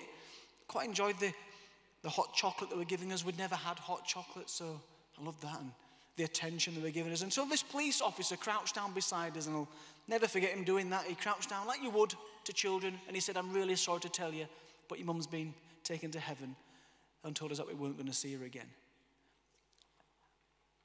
I didn't believe him. So I prayed for my mum to be brought back. And later that day, they took us into the visit, visitor's room, and I thought she was going to be there visiting us. She wasn't there. But there's a man with a camera took this picture. This picture appeared in the papers, and that's how my mum's family found out what happened to their sister or to our mum that night. And there's no easy way of saying this. If you haven't looked in the brochure, basically, my mum was murdered that night. Murdered, found on the field at the back of the house. You can't see her, she's under that tent. Murdered, we later discovered by a man called Peter Sutcliffe, who became known as the Yorkshire Ripper. He murdered 13 women in the north of England, and my mum, Wilma McCann, was the first of 13 women to die. I know that's quite a traumatic thing that we went through, but the great news is the very fact that I'm stood in front of you right now is I, I bounced back from that. I found that resilience to bounce back from that. And I guess it was because of some people not too dissimilar to you guys, and I say guys, I mean everybody, that came into my life and helped me, nudged me, encouraged me along the way. I turned six in the children's home. And the following year, 1976, we set upon with my father and his new girlfriend another council estate. The other side of Leeds, and up until this point, I've been asking myself, why? Why my mum? And here's what I came up with. My why. Well, I know why. I told myself that God had intervened and took my mum away from all the beatings, all the violence, all the drugs, and all the stuff that was going on in the house so that me and my sisters could have a fresh start, a new life with my father. I think it was the first example of me trying to think positive, finding that ray of sunshine in that dark cloud. But do you know what? Um, the belief that it happened for a reason to give us a fresh start with my dad was how I dealt with it. And I must just say something. Do you know that picture that I didn't tell the group earlier? Do you know that picture that was taken by the press of those four children with toys? It wasn't real. It was for the cameras. Do you know what actually happened? They gave us the toys, took the picture, and they took the toys off of us. You couldn't go into the visiting room. That was out of bounds. It was like just for the papers to make it look like we were playing with toys. I never forgot how that felt, by the way. So this was 1976, and although I tried to tell myself that it happened for a reason to get away from all the poverty, you know, it was like out of the frying pan into the fire. My dad was a brutal man, as is documented in that file that I've got at home, with some of it being black marker penned out. He drowned the dog in the bath. He used to beat us with sticks. He would stab me with a fork for shoplifting. All of us got beaten. Even Pauline, my stepmom, she fled on her hands and knees out that front door. You got the idea. You got the idea. Some people say to me, What happened to your dad? I'll show you what happened to my dad. Here's my dad in more recent years. Here's my dad at night.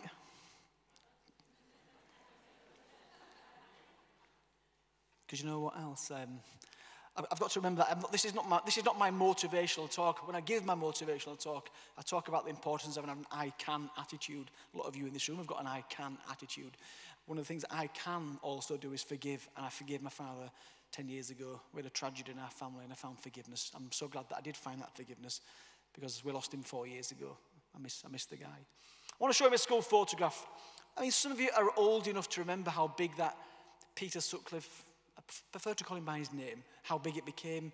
My classmates would come up to me at school. Is it true about your mum being this Yorkshire Ripper's first victim? Is it true that your mum was a prostitute? I hated that. I thought, and I was wrong, I thought that they're all better than me. I was never going to achieve anything. And to top it off, to make matters even worse, I had ginger hair as well. ginger massive. Do you know, I think it's a British thing. You've got to find a bit of humour in a dark subject. And uh, let's fast forward a little bit. Mum's killer, Peter Sutcliffe, was arrested. It was over. Do you know 24 children were left without a mother by the time that he'd finished? I'd become friends with many of those because we got this common bond. And he was arrested, and then, well, we still had my dad. We still had my dad to cope with. He was still drinking. And as young adults or young teenagers, we started drinking as well, did me and Sonia. We were drinking cider. We were sniffing glue. We were doing all that stuff. We were sniffing aerosol, aerosol cans, trying to get high. My dad beat Sonia so badly that she was taken by the NSPCC away from the house into hospital initially and then into a children's home a, a secure children's home for disruptive kids. And she never lived with us again. But the following year, this is 83, I joined the same school that Sonia was going to. I could see my sister again. I couldn't tell my dad it had gone crazy. It had gone crazy. And I did start standing up to my dad as a teenager. And I ran away from home twice and slept the streets. Not long-term homeless. I'm not trying to make it out to be worse than it is, but I did sleep in a bus shelter one night. I also once slept in a Portaloo all night. But the main thing was dad wasn't hitting me. There is, you know, there's a, a couple of teachers, and I know teachers are not what you do, but it's very similar, you know, bringing out the best in people. And one of my teachers, Miss, Miss Birkinshaw, I liked Miss, I, I think I she was like a. I'm going to say I loved her. I did, I did love the way that she, where she dealt with me. She cared for me, asking about me, how am I getting on? She brought me a pair of football shoes. I had football, um, I played football for the team, but I had these second-hand football boots, and she gave me her son's football boots. You don't forget things like that. But um, the thing that I'll never forget is what happened when I was in year nine at school. It was my English teacher, another one, another professional that wanted the best for me. He encouraged me to take part in the public speaking competition at school. And I initially said, There's no way I'm getting on that stage. But then I thought about it. And I thought to myself, It can't be as bad as losing my mum to a serial killer. So I entered this competition. But I didn't do what my competitors did. I didn't stand here and there's nothing wrong with this. That's what these things are for. I didn't. I stood over here without any notes, without any posters or flip charts. And I spoke about the one thing that I knew a little bit about pigeons. My dad raced racing pigeons. Anybody old enough to remember the film Kes with his kestrel? It was a bit like that, except it was pigeons. I did my talk, no notes, but my best bit was this at the edge of the stage, behind the curtains, on the floor, in a cardboard box. Can you guess what I brought with me? A hedgehog. I won that competition. I won that competition. I'll never forget when they announced my name, a bit like some of what we've heard already. They announced my name, I nearly cried. And I realized at that point that maybe I'm not completely damaged goods and maybe I could amount to something. It's not a coincidence that I got on the stage age 13 and I'm stood in front of you right now. Sometimes you've got to do the scary things. The potential to win was always there. Now, I wonder what else I had the potential for that I didn't uncover, things I never tried, cricket, pop, that's for posh people, you know, piano for posh people. You know. More importantly, I wonder what each of you have got the potential for that you've yet to uncover. So what I'm going to do is I'm going to break it up a little bit. I'm going to invite four of you, I'll choose, to come to the front. I'm going to help you do something that's going to scare the life out of you. I've got a prize for the winner. You're going to sing, okay? I'm going to come amongst you now. And I'm, I'm only joking, I'm only joking. That's how I felt. How you just felt, you sometimes got to do those scary things because that's when you're going to grow. By the way, this is my English teacher. The BBC did a documentary about my life. Don't know who, who, he, who that is on the left.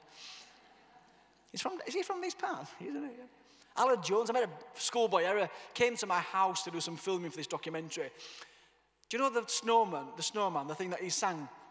I bought the book and I, I said, will, will, will you sign your book?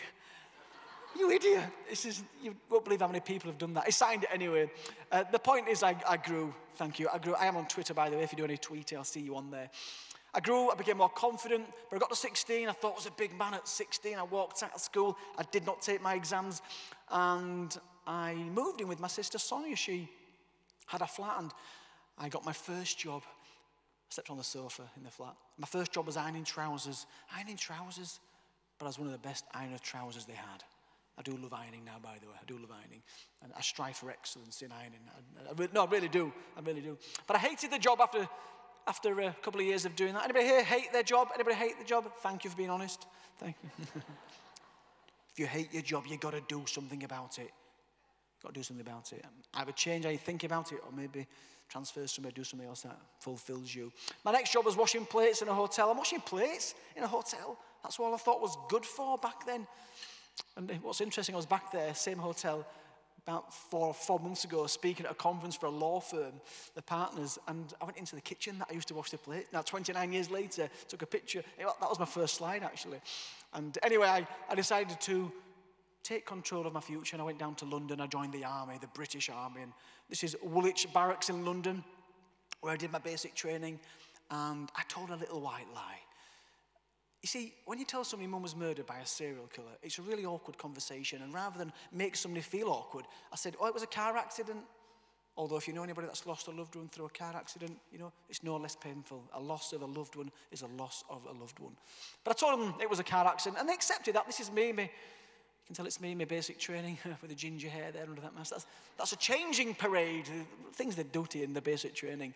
Anyway, I was posted out to Germany, and as is often the case in life, you can you can be heading in a certain direction with this vision and all this stuff, but sometimes stuff happens when you least expect it. In December 1989, this magazine was published about my mum's killer. My secret was out, my cover was blown, and I had a breakdown. I ended up on the psychiatric ward of Hanover Military Hospital, where at last I was going to get some professional help and support. Or so I thought. They kicked me out.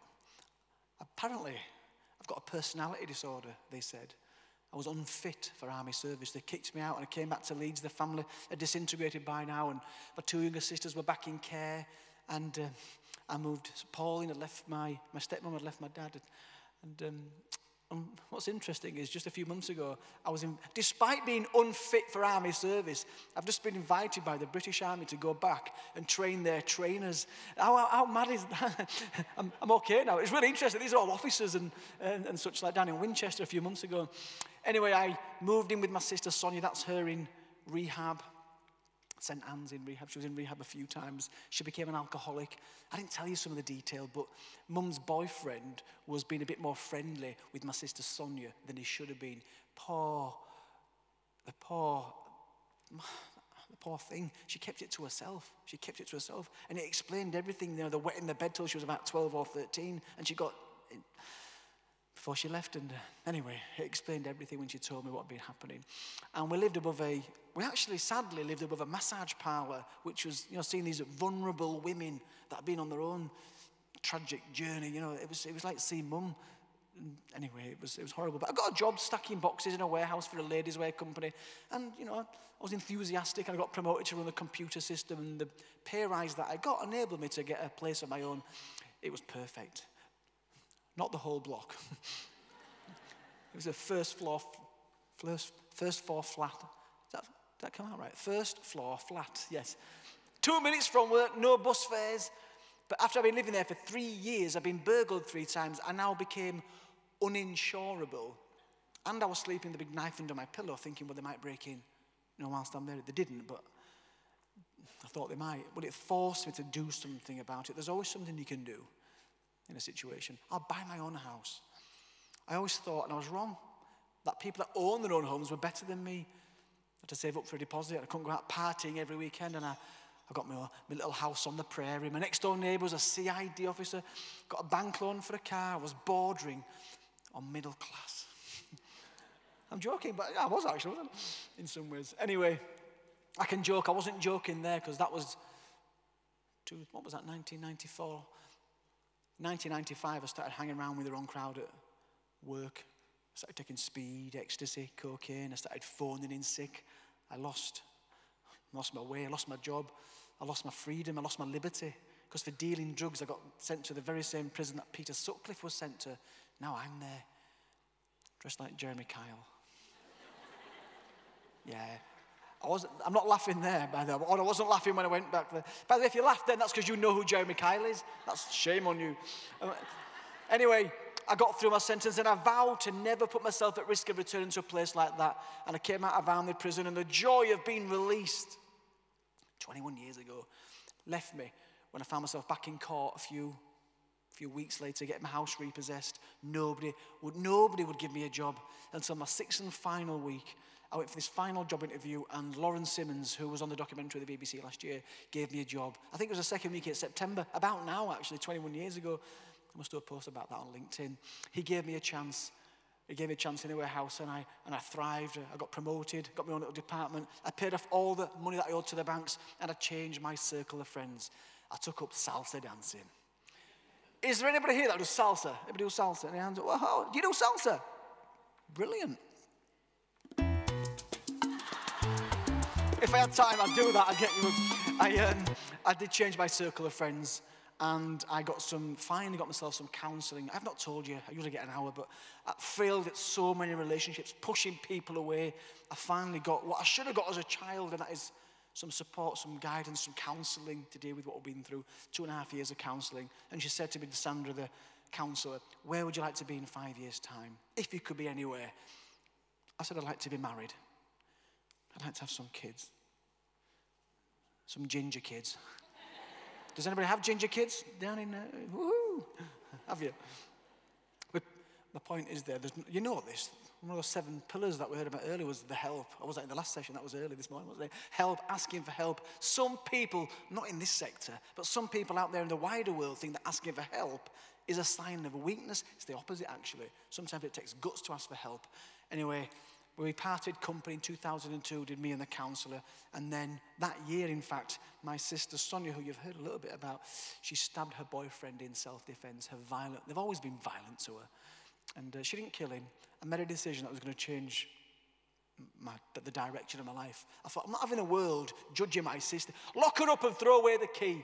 No, no, no, no, no. You need to know what we've been through. And I decided to write that book. One of the scariest things I've ever done. And we read that book. And we read Just a Boy. One of you. I missed an opportunity. I'd hang around, but I've got a train to get at four o'clock. And, uh, uh, it was a huge success. It's uh, number one in the charts. It's now sold half a million copies, 11 different languages. And who cares? Big deal. The big deal is the potential to write the book was always there. Uh, and one thing does lead to another. And uh, the second book came out in 2007. Uh, but unfortunately, in 2007, that is when, well, I got the phone call from my other sister, Angela, to tell me, Sonia, my, uh, my soulmate uh, had taken her life. I'm not angry. I'm not bitter. I just missed her to death. And, and, but there were some mistakes made, placing us with my father without any follow, follow-up support. That's when the, the report ends. My grandparents tried to adopt us when mum died, and they, they chose to place us with my violent father. And uh, and then she went into care back in 12, 13, and she didn't, she didn't get the support that she desperately needed. And if she'd done that, she, she might still be here today. I do think she's still around me, by the way. I miss Sonia. I miss Sonia. Um, but I won't leave you in that space. I'll, I'll, I'm an inspirational speaker. I'll try and leave you with a happy ending in five minutes. I, I got my first invitation to speak at a conference, not too dissimilar to this, back in 2005. I was scared. But I knew that if I did the thing that scared me, it might help with my lack of confidence. My confidence had, taken a, a kick in when I went to prison.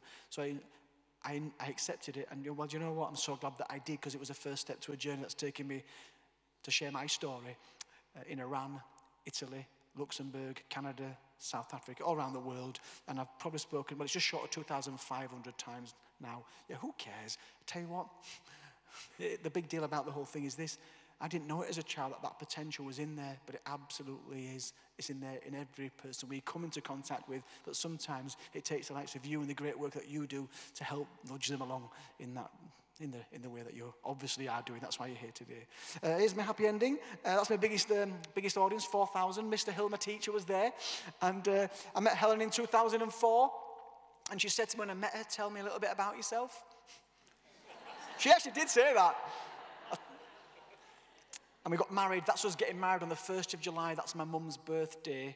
And it's up on the doorsteps of the house my mum lived in as a young girl, up on the Isle of Skye. And then look what happened next. Ta-da! Our daughter was born. We called her Skye. She's got a lovely head. She's got a lovely head of ginger hair, which has grown a bit longer now. Look at that. Come on. Beautiful. As is my son, Ellis, also with ginger hair.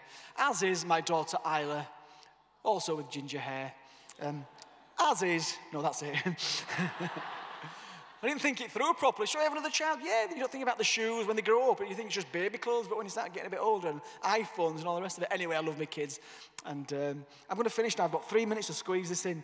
So that was a condensed version of the journey that I've been on. And I just want to kind of congratulate you for choosing the career paths that you've all been on because you know what the world needs. Sadly, leads people like you and the work that you obviously take pride in, although you should if you don't. But I want to share this with you before I go. It's not really to do with social care, or maybe it is, maybe it is, I don't know. But any parents in the room? Any parents in the room? A few, just three of you, yeah. Well, I'm a parent, as you know. And I'm going home tonight from here, and we're going glamping tomorrow. I can't wait. I've been away from home for a few days. And I went to my son's parents' evening, and on the wall, there was 30 Polaroid pictures. The kids had obviously been asked, what do you want to do when you're older? I want to be a teacher. I want to be a chef. I want to be a YouTuber. Look what my son wants to do. He wants to be a motivational speaker. You can imagine how disappointed I was when he told me that the teaching assistant, aged 20, that didn't seem to understand potential, when she laughed at him, I don't know what she meant. I didn't. I encouraged him because I could, I, I could see, I'm not going to see it, I know it's in every single person we come into contact with. Let me finish with these wise words from an eight year old ginger boy, my son Ellis McCann, speaking to, well, a rather large crowd, and then we're done. As they used to say on TV, run VT. My first presentation was in front of 29 people at school in class. Then was 140, followed by 400, and my latest presentation was in front of 1,500 teachers at the Leeds Arena about six weeks ago. And each...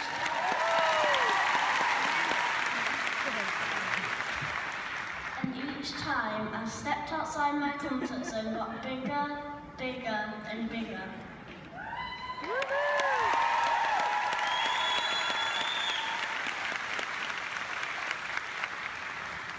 My thoughts are these. Never underestimate the potential that lies within each and every one of you. That's you, you, in fact, that's all of you.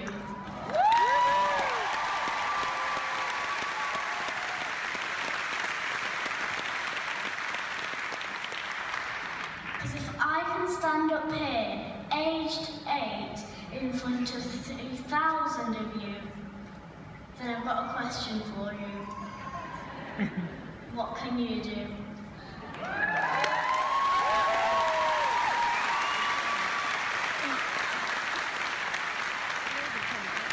I'm Ellis McCann, motivational speaker, aged eight.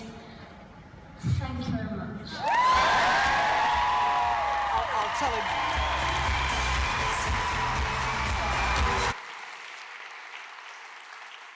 I, I, will tell him that you applauded. And uh, if you've got young people or maybe people you come into contact with that might want to watch that, just go onto his website, ellismccann.co.uk. You can share, it maybe inspire some young people. Listen, I'm going to finish now with a few words of these. If I can overcome the things that I've been through, I've actually not shared it all with you, but you know the, the big challenge that I went through as a child with losing mum to a serial killer children's homes, at-risk register, all that stuff, low self-esteem, self-harming, all sorts of stuff, all that stuff, leaving school, no qualifications, kicked out of the army, drugs, prison, my fault, I appreciate that. Losing my sister, she took her life in 2007, you know. My wife being diagnosed with breast cancer five years ago, completely having a double mastectomy and reconstruction. If despite all those challenges I can, you know, step outside my comfort zone and go on to achieve far more than I ever dreamt possible, if I can, and you know this, and the very fact that you're in this room means that you know it as well, then you can too. I'm Richard McCann. motivational speaker. It's been a real pleasure and honour to be here. Keep up the fantastic work that you're doing. Thank you very much. Thank you.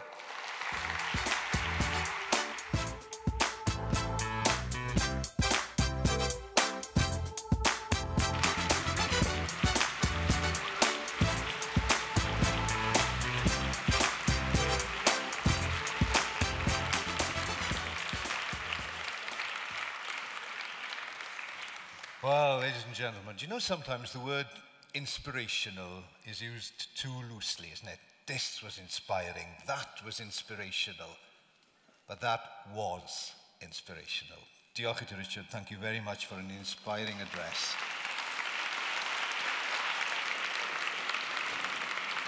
And um, that's something I think, ladies and gentlemen, you'll agree with me, will stay with each and every one of us for a long, long time. And just one thing, Richard, I wouldn't worry too much about your hair changing colour. Look what happened to me. Good luck. Good luck with your work and your life. Diolch yn fawr iawn. Now then, ladies and gentlemen, let's move on. Mae'n amser symud ymlaen i'n categori nesaf ni.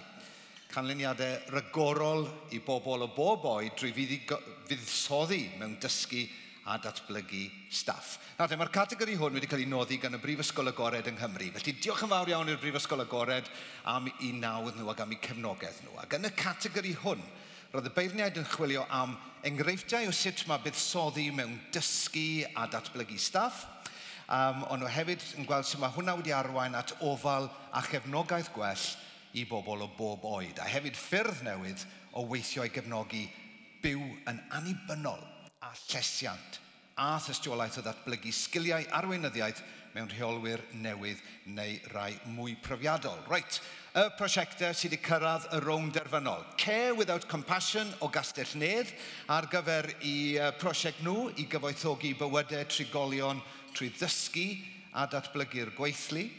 A Cyngor Sir y Flint ar gyfer i prosiect Progress for Providers. Ni'n mynd i gael gweld ffilm ber nawr o'r prosiect yma i chi gael blas o'r ddau prosiect. Enjoywch y ffilmiau.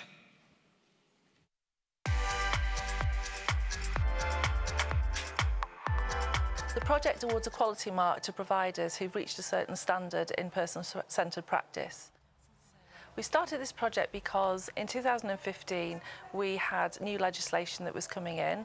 We had no more money to work with and we have difficulty recruiting and retaining care staff.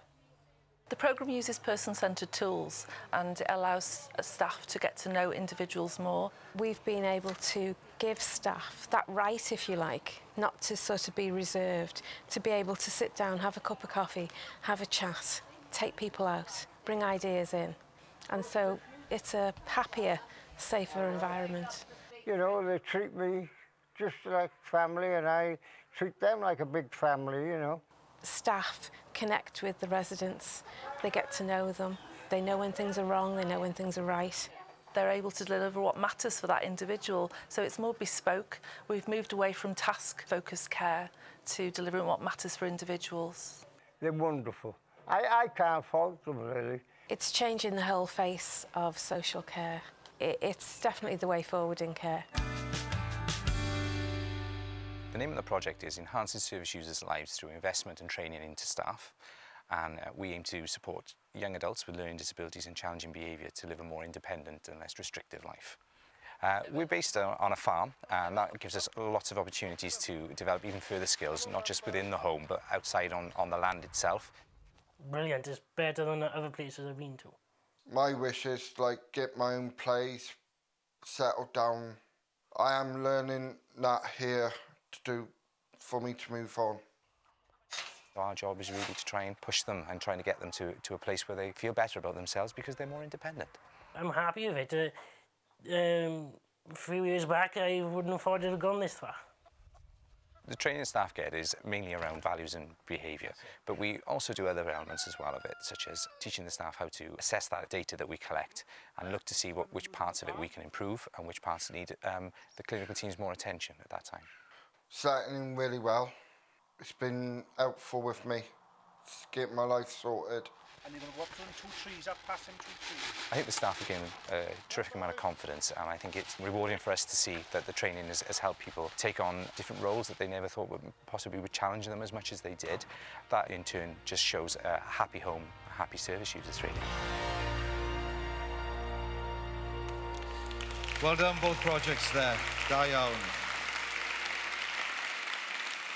Well, before we find out who won, let's have the judges' opinion and some comments from the judges on um, this section here. And let's go over to Jerry, who's joined me back on stage.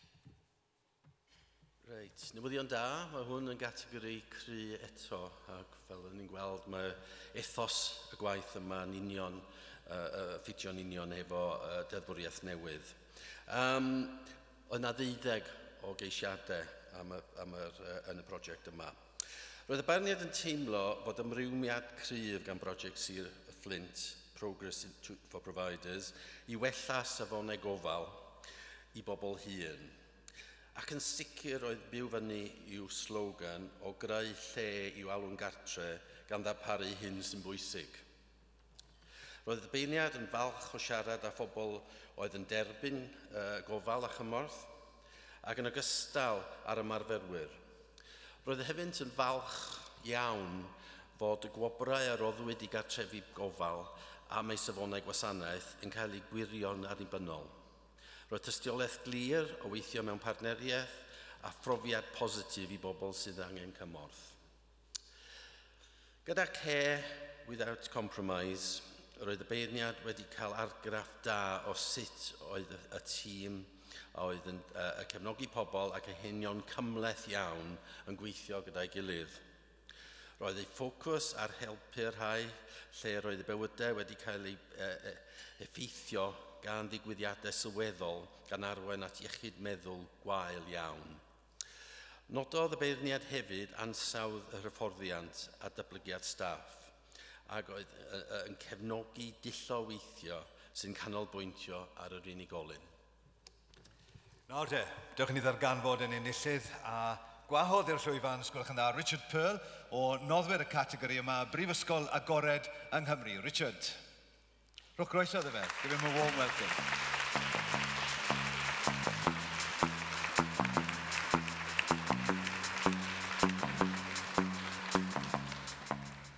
Many congratulations to both finalists and uh, good luck. The winner of the Excellent Outcomes for People of All Ages by investing in the Learning and Development of Staff category is Flintshire County Council.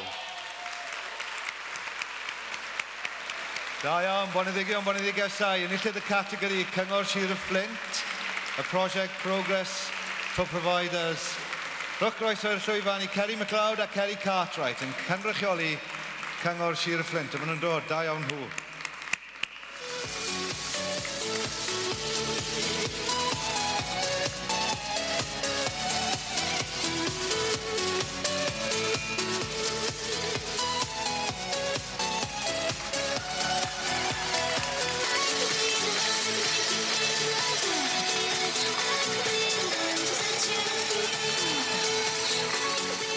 We've got two Jerrys and two Kerrys on the stage here this afternoon. Well, there we are. Well done, Kerry and uh, Kerry from Fincher Council. Da iawn nhw, rwch gymrydwyaeth iddyn nhw, a rwch gymrydwyaeth hefyd i'r sefydliad sydd wedi cael cymrydwyaeth uchel yn y gystadleuaeth yma.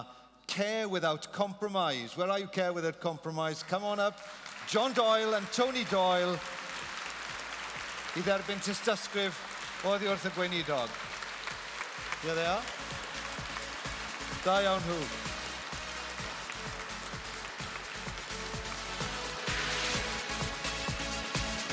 Well done, John and Tony. Congratulations.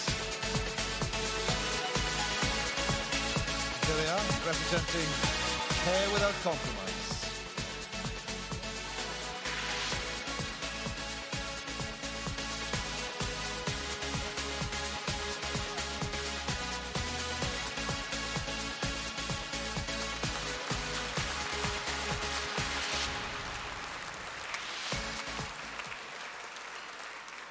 To say, some sharp ties there from uh, John and Tony as well. Well done. Now then, we've reached our penultimate uh, category, uh, innovative and creative solutions, sharing your experiences. Now, in this category, we were looking for examples of new ways of working being tested and examples of creativity, improving well-being, evidence of how practice has been changed because existing methods are not working as expected, okay? And uh, evidence also of supporting people who receive care and support to achieve what matters to them. Who are the finalists? Well, I'll tell you. Our finalists in this category are Rhondda County Borough Council with their Stay Well at Home project and Monmouthshire County Council with their My Mates project. And we're going to have a look at some films now and gives us a taste of both projects, ladies and gentlemen. The project is called Stay Well at Home. It's a partnership project between Cwm Taf University Health Board, Merthyr Tydfil uh, County Borough Council and Rhondda Cynon Taf County Borough Council.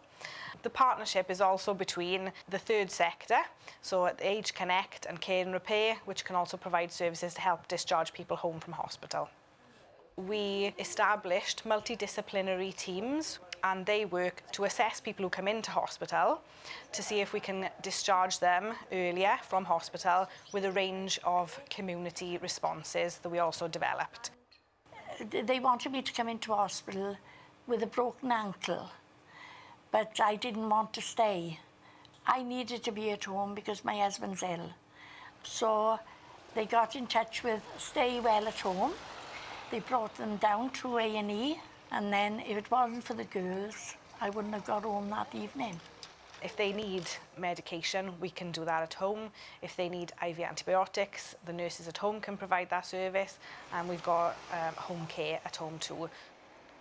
If it hadn't been for them, I would have had to stayed in hospital, well, I, most probably for about three weeks. We've assessed over 2,000 people in the first year, and 80% of those people have gone home within 24 hours. They really appreciate the service, which we're really proud of. Project name is My Mates and we work with people who have a learning disability and we provide opportunities for socials, for friendships, for relationships and also we provide uh, workshops and just access to information. We go out to meet friends and have fun and stuff like that. We do go on some good trips out. Oh yes we, we do. do. Awesome they are. Oh yeah. Awesome mm. days. We're trying to provide people with some social capital, some friendships, some unpaid friendships, access to support that doesn't come from a paid group. We met at, at, at my mates and we uh, been together ever since. Self-esteem has grown, confidence has grown, people are challenging. Sometimes it's the first time people have actually used their voice to tell people, you know, what their choices are. I love friends and I like my food. We're focusing on people's ability and not their disability, and that's the thing that makes me feel the most proud. Oh, it makes us happy and so proud. Yes, uh, uh, uh, I go where they need it. Yeah, thanks, John.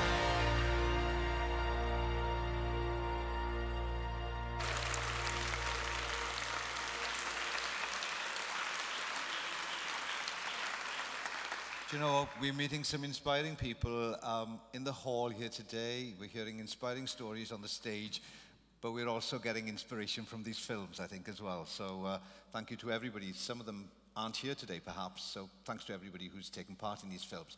It gives us an insight into the work of the projects. It also reminds us what a lovely summer we've just had as well, so that you see all the lovely sunshine. Anyway, well done. Let's find out what the judges thought of these projects. Let's hear from Gerry now then.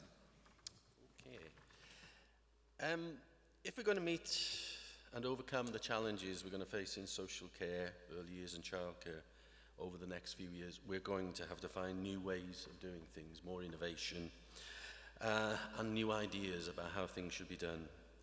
As is often said these days, we can't carry on doing the same things in the same way. This category was all about trying to unearth some innovative projects, and this turned out to be the most popular with more than 20 entries, which is excellent news. Um, and the judges were certainly not disappointed by the two finalists we have here today. Um, To describe the Stay Well at Home project, you might have got a sense of our judges' vocabulary. The judges used the technical description of wow. They felt they'd meticulously planned the project from the beginning, broken down silos and removed all barriers. The collaboration that gone into planning and setting up the project was wonderful. They even had 13 task and finish groups at one point. Speaking to a 97-year-old man really brought home the value of the project to the judges. He'd been admitted to hospital with an acute infection.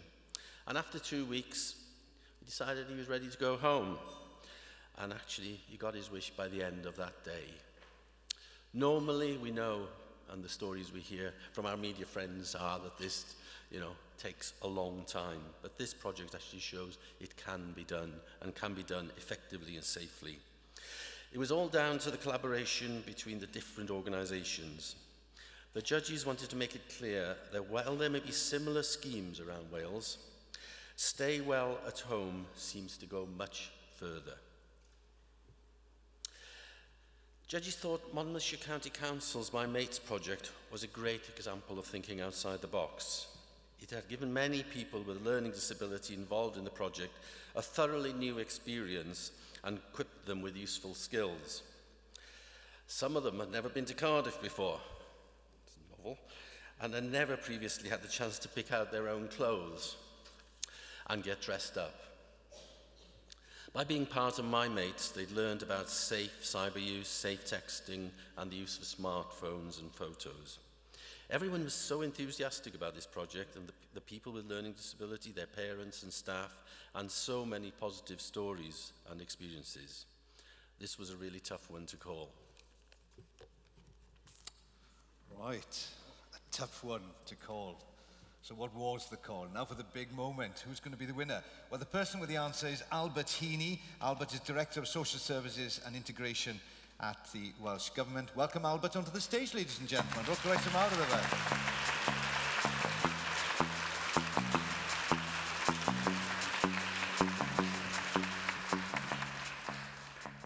Prynhawn Dar, what a wonderful afternoon, and two exceptional finalists. And the winner for the accolade goes to Monmouthshire County Council.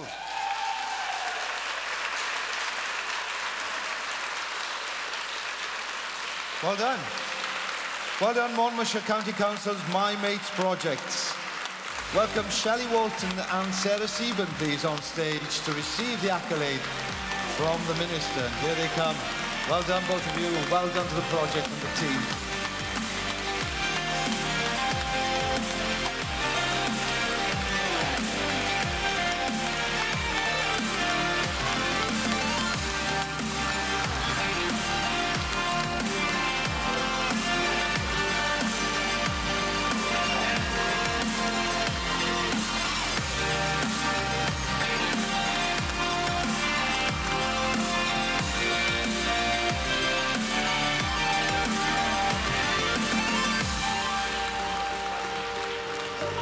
Well done, all of them.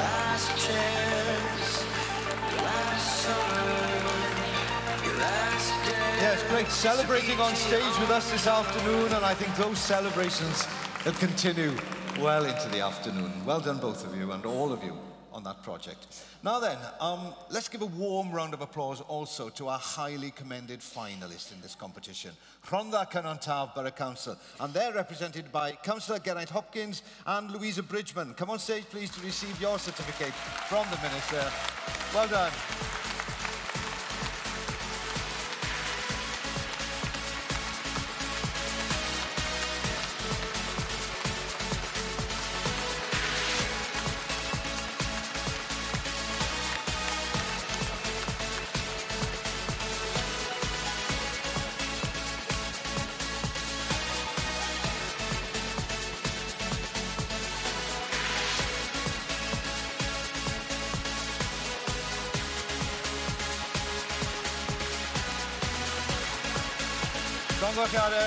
Congratulations to Geraint and Louisa and from the Taf Borough Council. Right then, ladies and gentlemen, you've been a great audience, by the way, fantastic. There's always one. There's always one. Na re, ni'n cyrraedd y categori ola y uh, prynhawn yma. Um, yeah, Mae'r prynhawn yn dirwyn i ben, gyfeillion, yn anffodus, ond not quite dim cweit wedi gorffen eto. Y categori hwn yw gwell canlyniadau drwy ddysgu a gweithio gyda'n gilydd. A noddir hwn gan Deloitte, felly diolch yn fawr iawn i chi am eich cefnogaeth. Ac yn y categori hwn, oedd y Bernard yn chwilio am enghreifftiau o foderneiddio gwerth gweithlu ar draws ffiniau sefydliadol a hynny er mwyn gwella canlyniadau. Dysgu neu hyfforddiant ar draws ffiniau proffesiynol sydd wedi arwain at wasanaethau gwahanol yn cydweithio, weithio yn effeithiol yn y gymuned a gofal a chymorth gwell a mwy cynaladwy oherwydd gweithio cymunedol. Right, pwy sy'n y categori yma? Tri sefydliad yn y rownd derfynol. Cymdeithas Gwasanaethau Gwirfoddol Sir Benfro ar gyfer eu prosiect nhw i helpu bobl hun i fyw yn annibynnol yn eu cartrefi hunain. Cyngor Bwrdeisaf Sirol Conwy ar gyfer eu prosiect nhw i leihau nifer y plant sy'n cael eu canfanteisio'n rhywiol a gwasanaeth dydd Sant Joan, Cyngor Abertawe, ar gyfer i menter gardd gymunedol. Tri wedi cyrraedd y rhwng derfynol. Dewch ni gael blas o'r tri ohonyn nhw nawr drwy wylio'r ffilmiau canlynol. Diolch.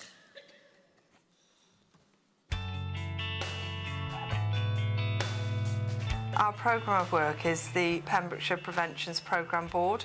It's about a group of uh, people coming together from the third sector, from public health, from the health board, from local authority to develop a shared vision and shared approach to preventions in Pembrokeshire. We've developed a number of third sector led activities, including Pivot, Caring Communities Innovations Grant, the Active and Connected Communities programme, and most recently the Pembrokeshire Time Bank Network. The benefits that we've seen already is that it mobilises people within their communities to come together. People have benefited in terms of their self-esteem, in terms of their confidence and their ability to take the lead in their own lives. They give me lots of valid advice. They help set up lots of things within my constitution and our governance and our training and they're constant providers of support within Pembrokeshire, within the voluntary sector and people that need care and provide care and they link it all together so I can't speak highly enough of them. I think we've all got a real sense that if we work together we can achieve effective change and we can maintain that change and I think we can see that the building blocks that we've put in place already are going to continue to grow.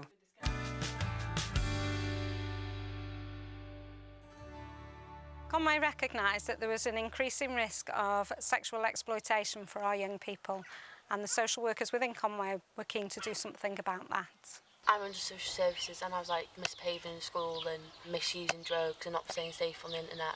So like my social worker can like put me on the course here and it has helped a lot. They started like making me see sense and stuff about what I was doing and like showed me the right way because I was going down a really bad path. I think the opportunity to share training allows a greater network and a greater understanding of people's jobs roles. I came here and then started obviously learning a lot more of drugs and like sexual harassment and stuff online like grooming and that. And I'm glad I came because I, I needed to know what I did learn. I think what we're most proud of is the collaborative working with the police, with the schools, with the youth service, we meet on a monthly basis at the forum to share that soft intel. It's changed me and my family at home as well because they weren't happy about what I was doing either. They were like very concerned and worried about me. The project was based on the fact that there was no funding. The future will be that there is still no funding. But if you look around you, there are huge skills in staff teams and there are resources here. So we're going to continue to do it and we hope that others will do it as well. I know like how to stay safe on the internet now. I avoid like any danger. Because of them, I'm like living with my nan and I'm happy and I'm with my family and my family are happy. We're St John's Day service, so we look after older people living with complex needs who come and spend the day with us that could be for giving carers respite or people with complex needs. Alongside that, we run a community garden and a community transport scheme. We have service users that are living with dementia. They actually come out here regularly to look at the fish because the fish have got movement and that sort of thing that they just love to just stand there and just watch really. Community engagement's really important because we have strong links to our local community and we're able to support an awful lot more people than we would have if we were just a traditional day service. I'm a community volunteer here and it's been so good for myself. It's just a wonderful place where people love to come and would be completely lost without this place. It is the heart of the community. I lost my confidence before I came here. I, never, I didn't go outside the door for four months. And uh, oh, I think it's coming back now. It's a nice place to come to. I look forward to it every Thursday. We've completely changed from quite a traditional model of care to something that I don't think anyone else is really doing and we've managed to, to make it a success.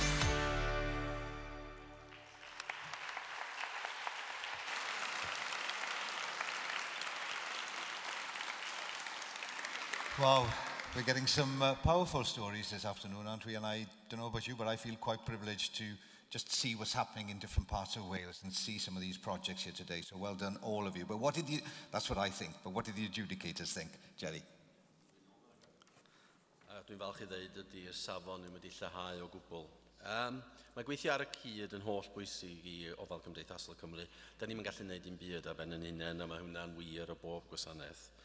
Felly, roi bleser mawr weld bod y categori hwn wedi denu, denu mwy na 20 o geisiadau. Roedd y berniad yn falch i weld bod prosiect Sir Fembro yn cael ei arwain gan y trydydd sector. Fel ni'n dweud o blaen, da ni'n mynd i cael gymaint o geisiadau o'r trydydd sector yn y sector broifet, felly oedd hwn yn bleser. Roedden nhw'n yn brosiect oedd wedi uh, gweld gwahaniaeth pendant i fywydau pobl yn y sir. Uh, trwy herio ei gilydd gan uh, ddefnyddio arian mewn ffordd gwahanol, Um, roedd y cyfan wedi dod at ei gilydd i greu pecyn cynhwys fawr a oedd yn ysgogi meddwl gyda llawer o siantaethau yn dod at ei gilydd i ganolbwyntio ar yr unigolyn. Ac yn bwysig, roedd gan ein ddigon o enghreifftiau da iawn o hyn a gyflawnwyd. Yng Nghonwy, y prosiect i, i, i lehau camfanteisio rhywiol yn ystod plentyndod oedd y bartneriaeth uh, aml asiantaethol mwyaf effeithiol roedd y beirniad, beirniad erioed wedi gweld. Felly eto, safon uchel iawn. Yna chafodd uh, arian ychwanegol uh, i wario ar y prosiect yn wedi arwain at ganlyniadau uh, mesuradwy uh, a dibynwyd a oedd yn cael uh, ei cefnogi gan dystiolaeth. Cafodd, cyfar, uh, cafodd cyfarfod gyda chwech o ferched a fi trwy'r rhaglen effaith dwys ar y beirniad ac oedd nhw wedi cael, oedd wedi cael effaith cry. Um, Fe helpodd y beirniad i, i weld y canlyniadau go iawn gan wneud argraff ar y beirniad bod effaith mor bositif wedi wneud ar y bobl sy'n agored i, i, i niwed. Yn Abertawe, daeth gwasanaeth dydd San Ioan a'r cyngor ynghyd a nifer o wahanol sefydliadau gan gynnwys ar, yr eglwys leol i helpu bobl i rannu sgiliau a ffurfio perthynas trwy brosiect gardd gymunedol. Roedd y brwdfrydedd angerddol uh, ac ymagwedd ysbrydnelig rheolwr uh, uh, ganolfan wedi gwneud argraff arbennig ar y beirniad, eto'n dangos pwysigrwydd unigolion yn arwain gwasanaethau. Uh, roeddynt tefyd yn, uh, yn hoffi'r ffaith bod llawer o ryngweithio rhwng pobl o wahanol oedrannau uh, i weld yn bositif. Ar y cyfan, teimlo'r berniad ei fod yn gynllun uh, sydd wedi newid bywodau bobl mewn ffordd positif. Wel, Ian House sy'n cynrychioli noddwr y categori yma, Deloitte sy'n mynd i ddweud ni pwy sydd wedi ennill y gystadleuaeth. Felly, croeso cynnes iawn, Ian House i'r llwyfan ysgolwch chi'n dda.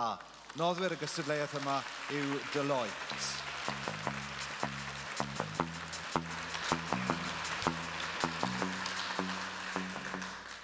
afternoon, everyone. Uh, three fantastic projects, but there has to be one winner. And the winner of the Better Outcomes by Learning and Working Together category is Conwy, County Borough Council. Da iawn, Conwy. Bona ddigon a bona boneddigesau, enillydd y categori Cyngor Bwrdeistref Sirol Conwy. Maen nhw'n dod i'r llwyfan i dderbyn i gwobr Angela Longman a Sarah King. Croeso mawr iddyn nhw. Very warm welcome.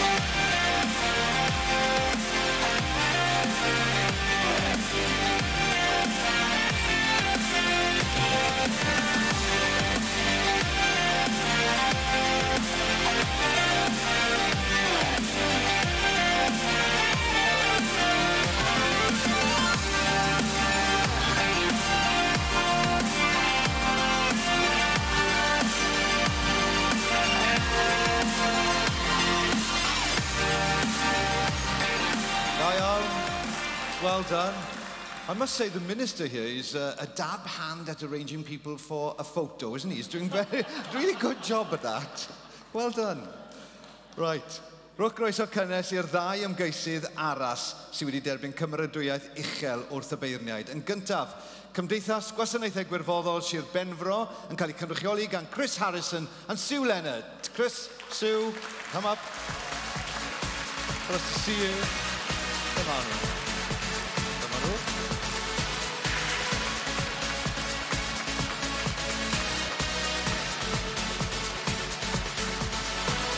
we have Chris and Sue from Pembrokeshire Association of Voluntary Services. Well done.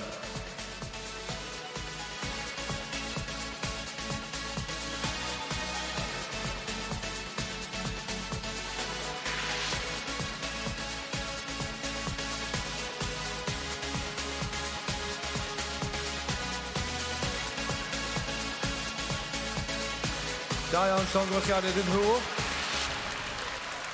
A nesa, yr ail ymgeisydd i gael cymeradwyaeth uchel. Croeso Cymdeithas Dydd, Sant Johan a Chyngor Abertawe, Amanda Gallivan a Janet Jones.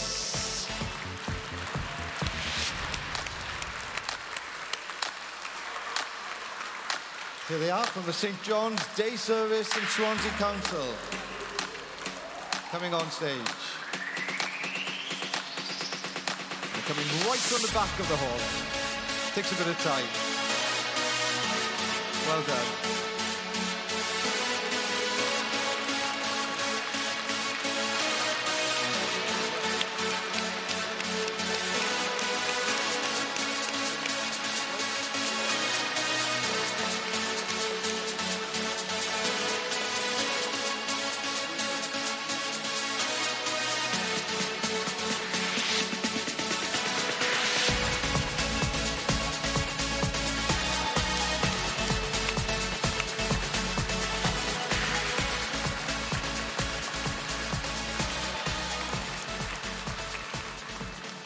Well, dyna ni.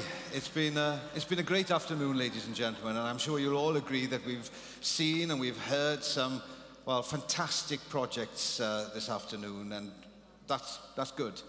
Excellent news for social work, social care, and early years and childcare in Wales. I asked you to do this right at the beginning of the afternoon. We're going to ask you to do it again. Give yourselves a big round of applause for all your great work, all of you, I'm reaching the accolades 2018. And that's for the people here in the hall, but it's also for the people who aren't here today, people who are helping various projects and people who are benefiting from various projects right across Wales. Diolch yn fawr iawn i chi. On behalf of Social Care Wales, I'd like to thank the Minister for being uh, with us today and handing out all the awards and certificates and smiling beautifully for the cameraman. Also for our guest speaker, Richard McCann. Thank you very much to Richard. Thanks to Arwel, Arwel Ellis Owen, Chair of Social Care Wales and the judging panel, and our sponsors for their generous backing, and the judges who gave up so much of their time. Um, Gerry for his help here this afternoon on behalf of the judges. The string quartet, the Cambria St- String Quartet. On a personal note, just diolch yn fawr iawn. Thank you for asking me to be here. It's been an amazing afternoon. It's really inspiring. Your stories have been quite something. They stay with, with me for a, for a long, long time. Good luck to all of you with all of your work, wherever you are. It matters. It's important to a lot of people. Diolch yn fawr iawn i chi gyd. Um, diolch yn fawr. Yeah, of course, Gerry was stepping in at the last minute, wasn't he? Well, well done him um, assisting me in presenting the ceremony and giving us the judge's perspective. Diolch yn fawr iawn, Gerry. Thanks to you all for attending today's celebration and all that's best about social work, social care and early years and childcare here in Wales. We hope you've enjoyed, hope you've enjoyed the occasion. Give us your feedback, complete the forms on your table, let us know what you thought about today's ceremony. And as Arwel said right at the beginning of this afternoon, this is the first time for Social Care Wales to take responsibility for the accolades. I'm sure it's just the beginning of a new dawn for the awards, and they're sure to go from strength to strength, ladies and gentlemen, if today is anything to go by. So, so, it might be well worth each and every one of you thinking about next year. Okay, what are you going to do next year? What are you going to put in next year, right? Um, what could your entry be next year? Go on. Go for it. Tell other people about it. Go on Twitter. Tell them you've had a great time and put your projects in. Let's get some recognition and let's some, get some acknowledgement for all the work you're doing, okay? So well done, all of you. Um, now then, just in case you haven't had enough photos this afternoon, okay, there'll be a chance to continue celebrating and chatting about this afternoon um, and to get your photos taken if you go to the Ferrier Hall, which is just off the Marble Hall there, okay? Our professional photographer, he'll be there to take more pictures with you. Well, that's it, folks. Pnawn da. Diolch yn fawr iawn i chi. Um, it's been a great afternoon. Have a safe journey home. Diolch yn fawr iawn.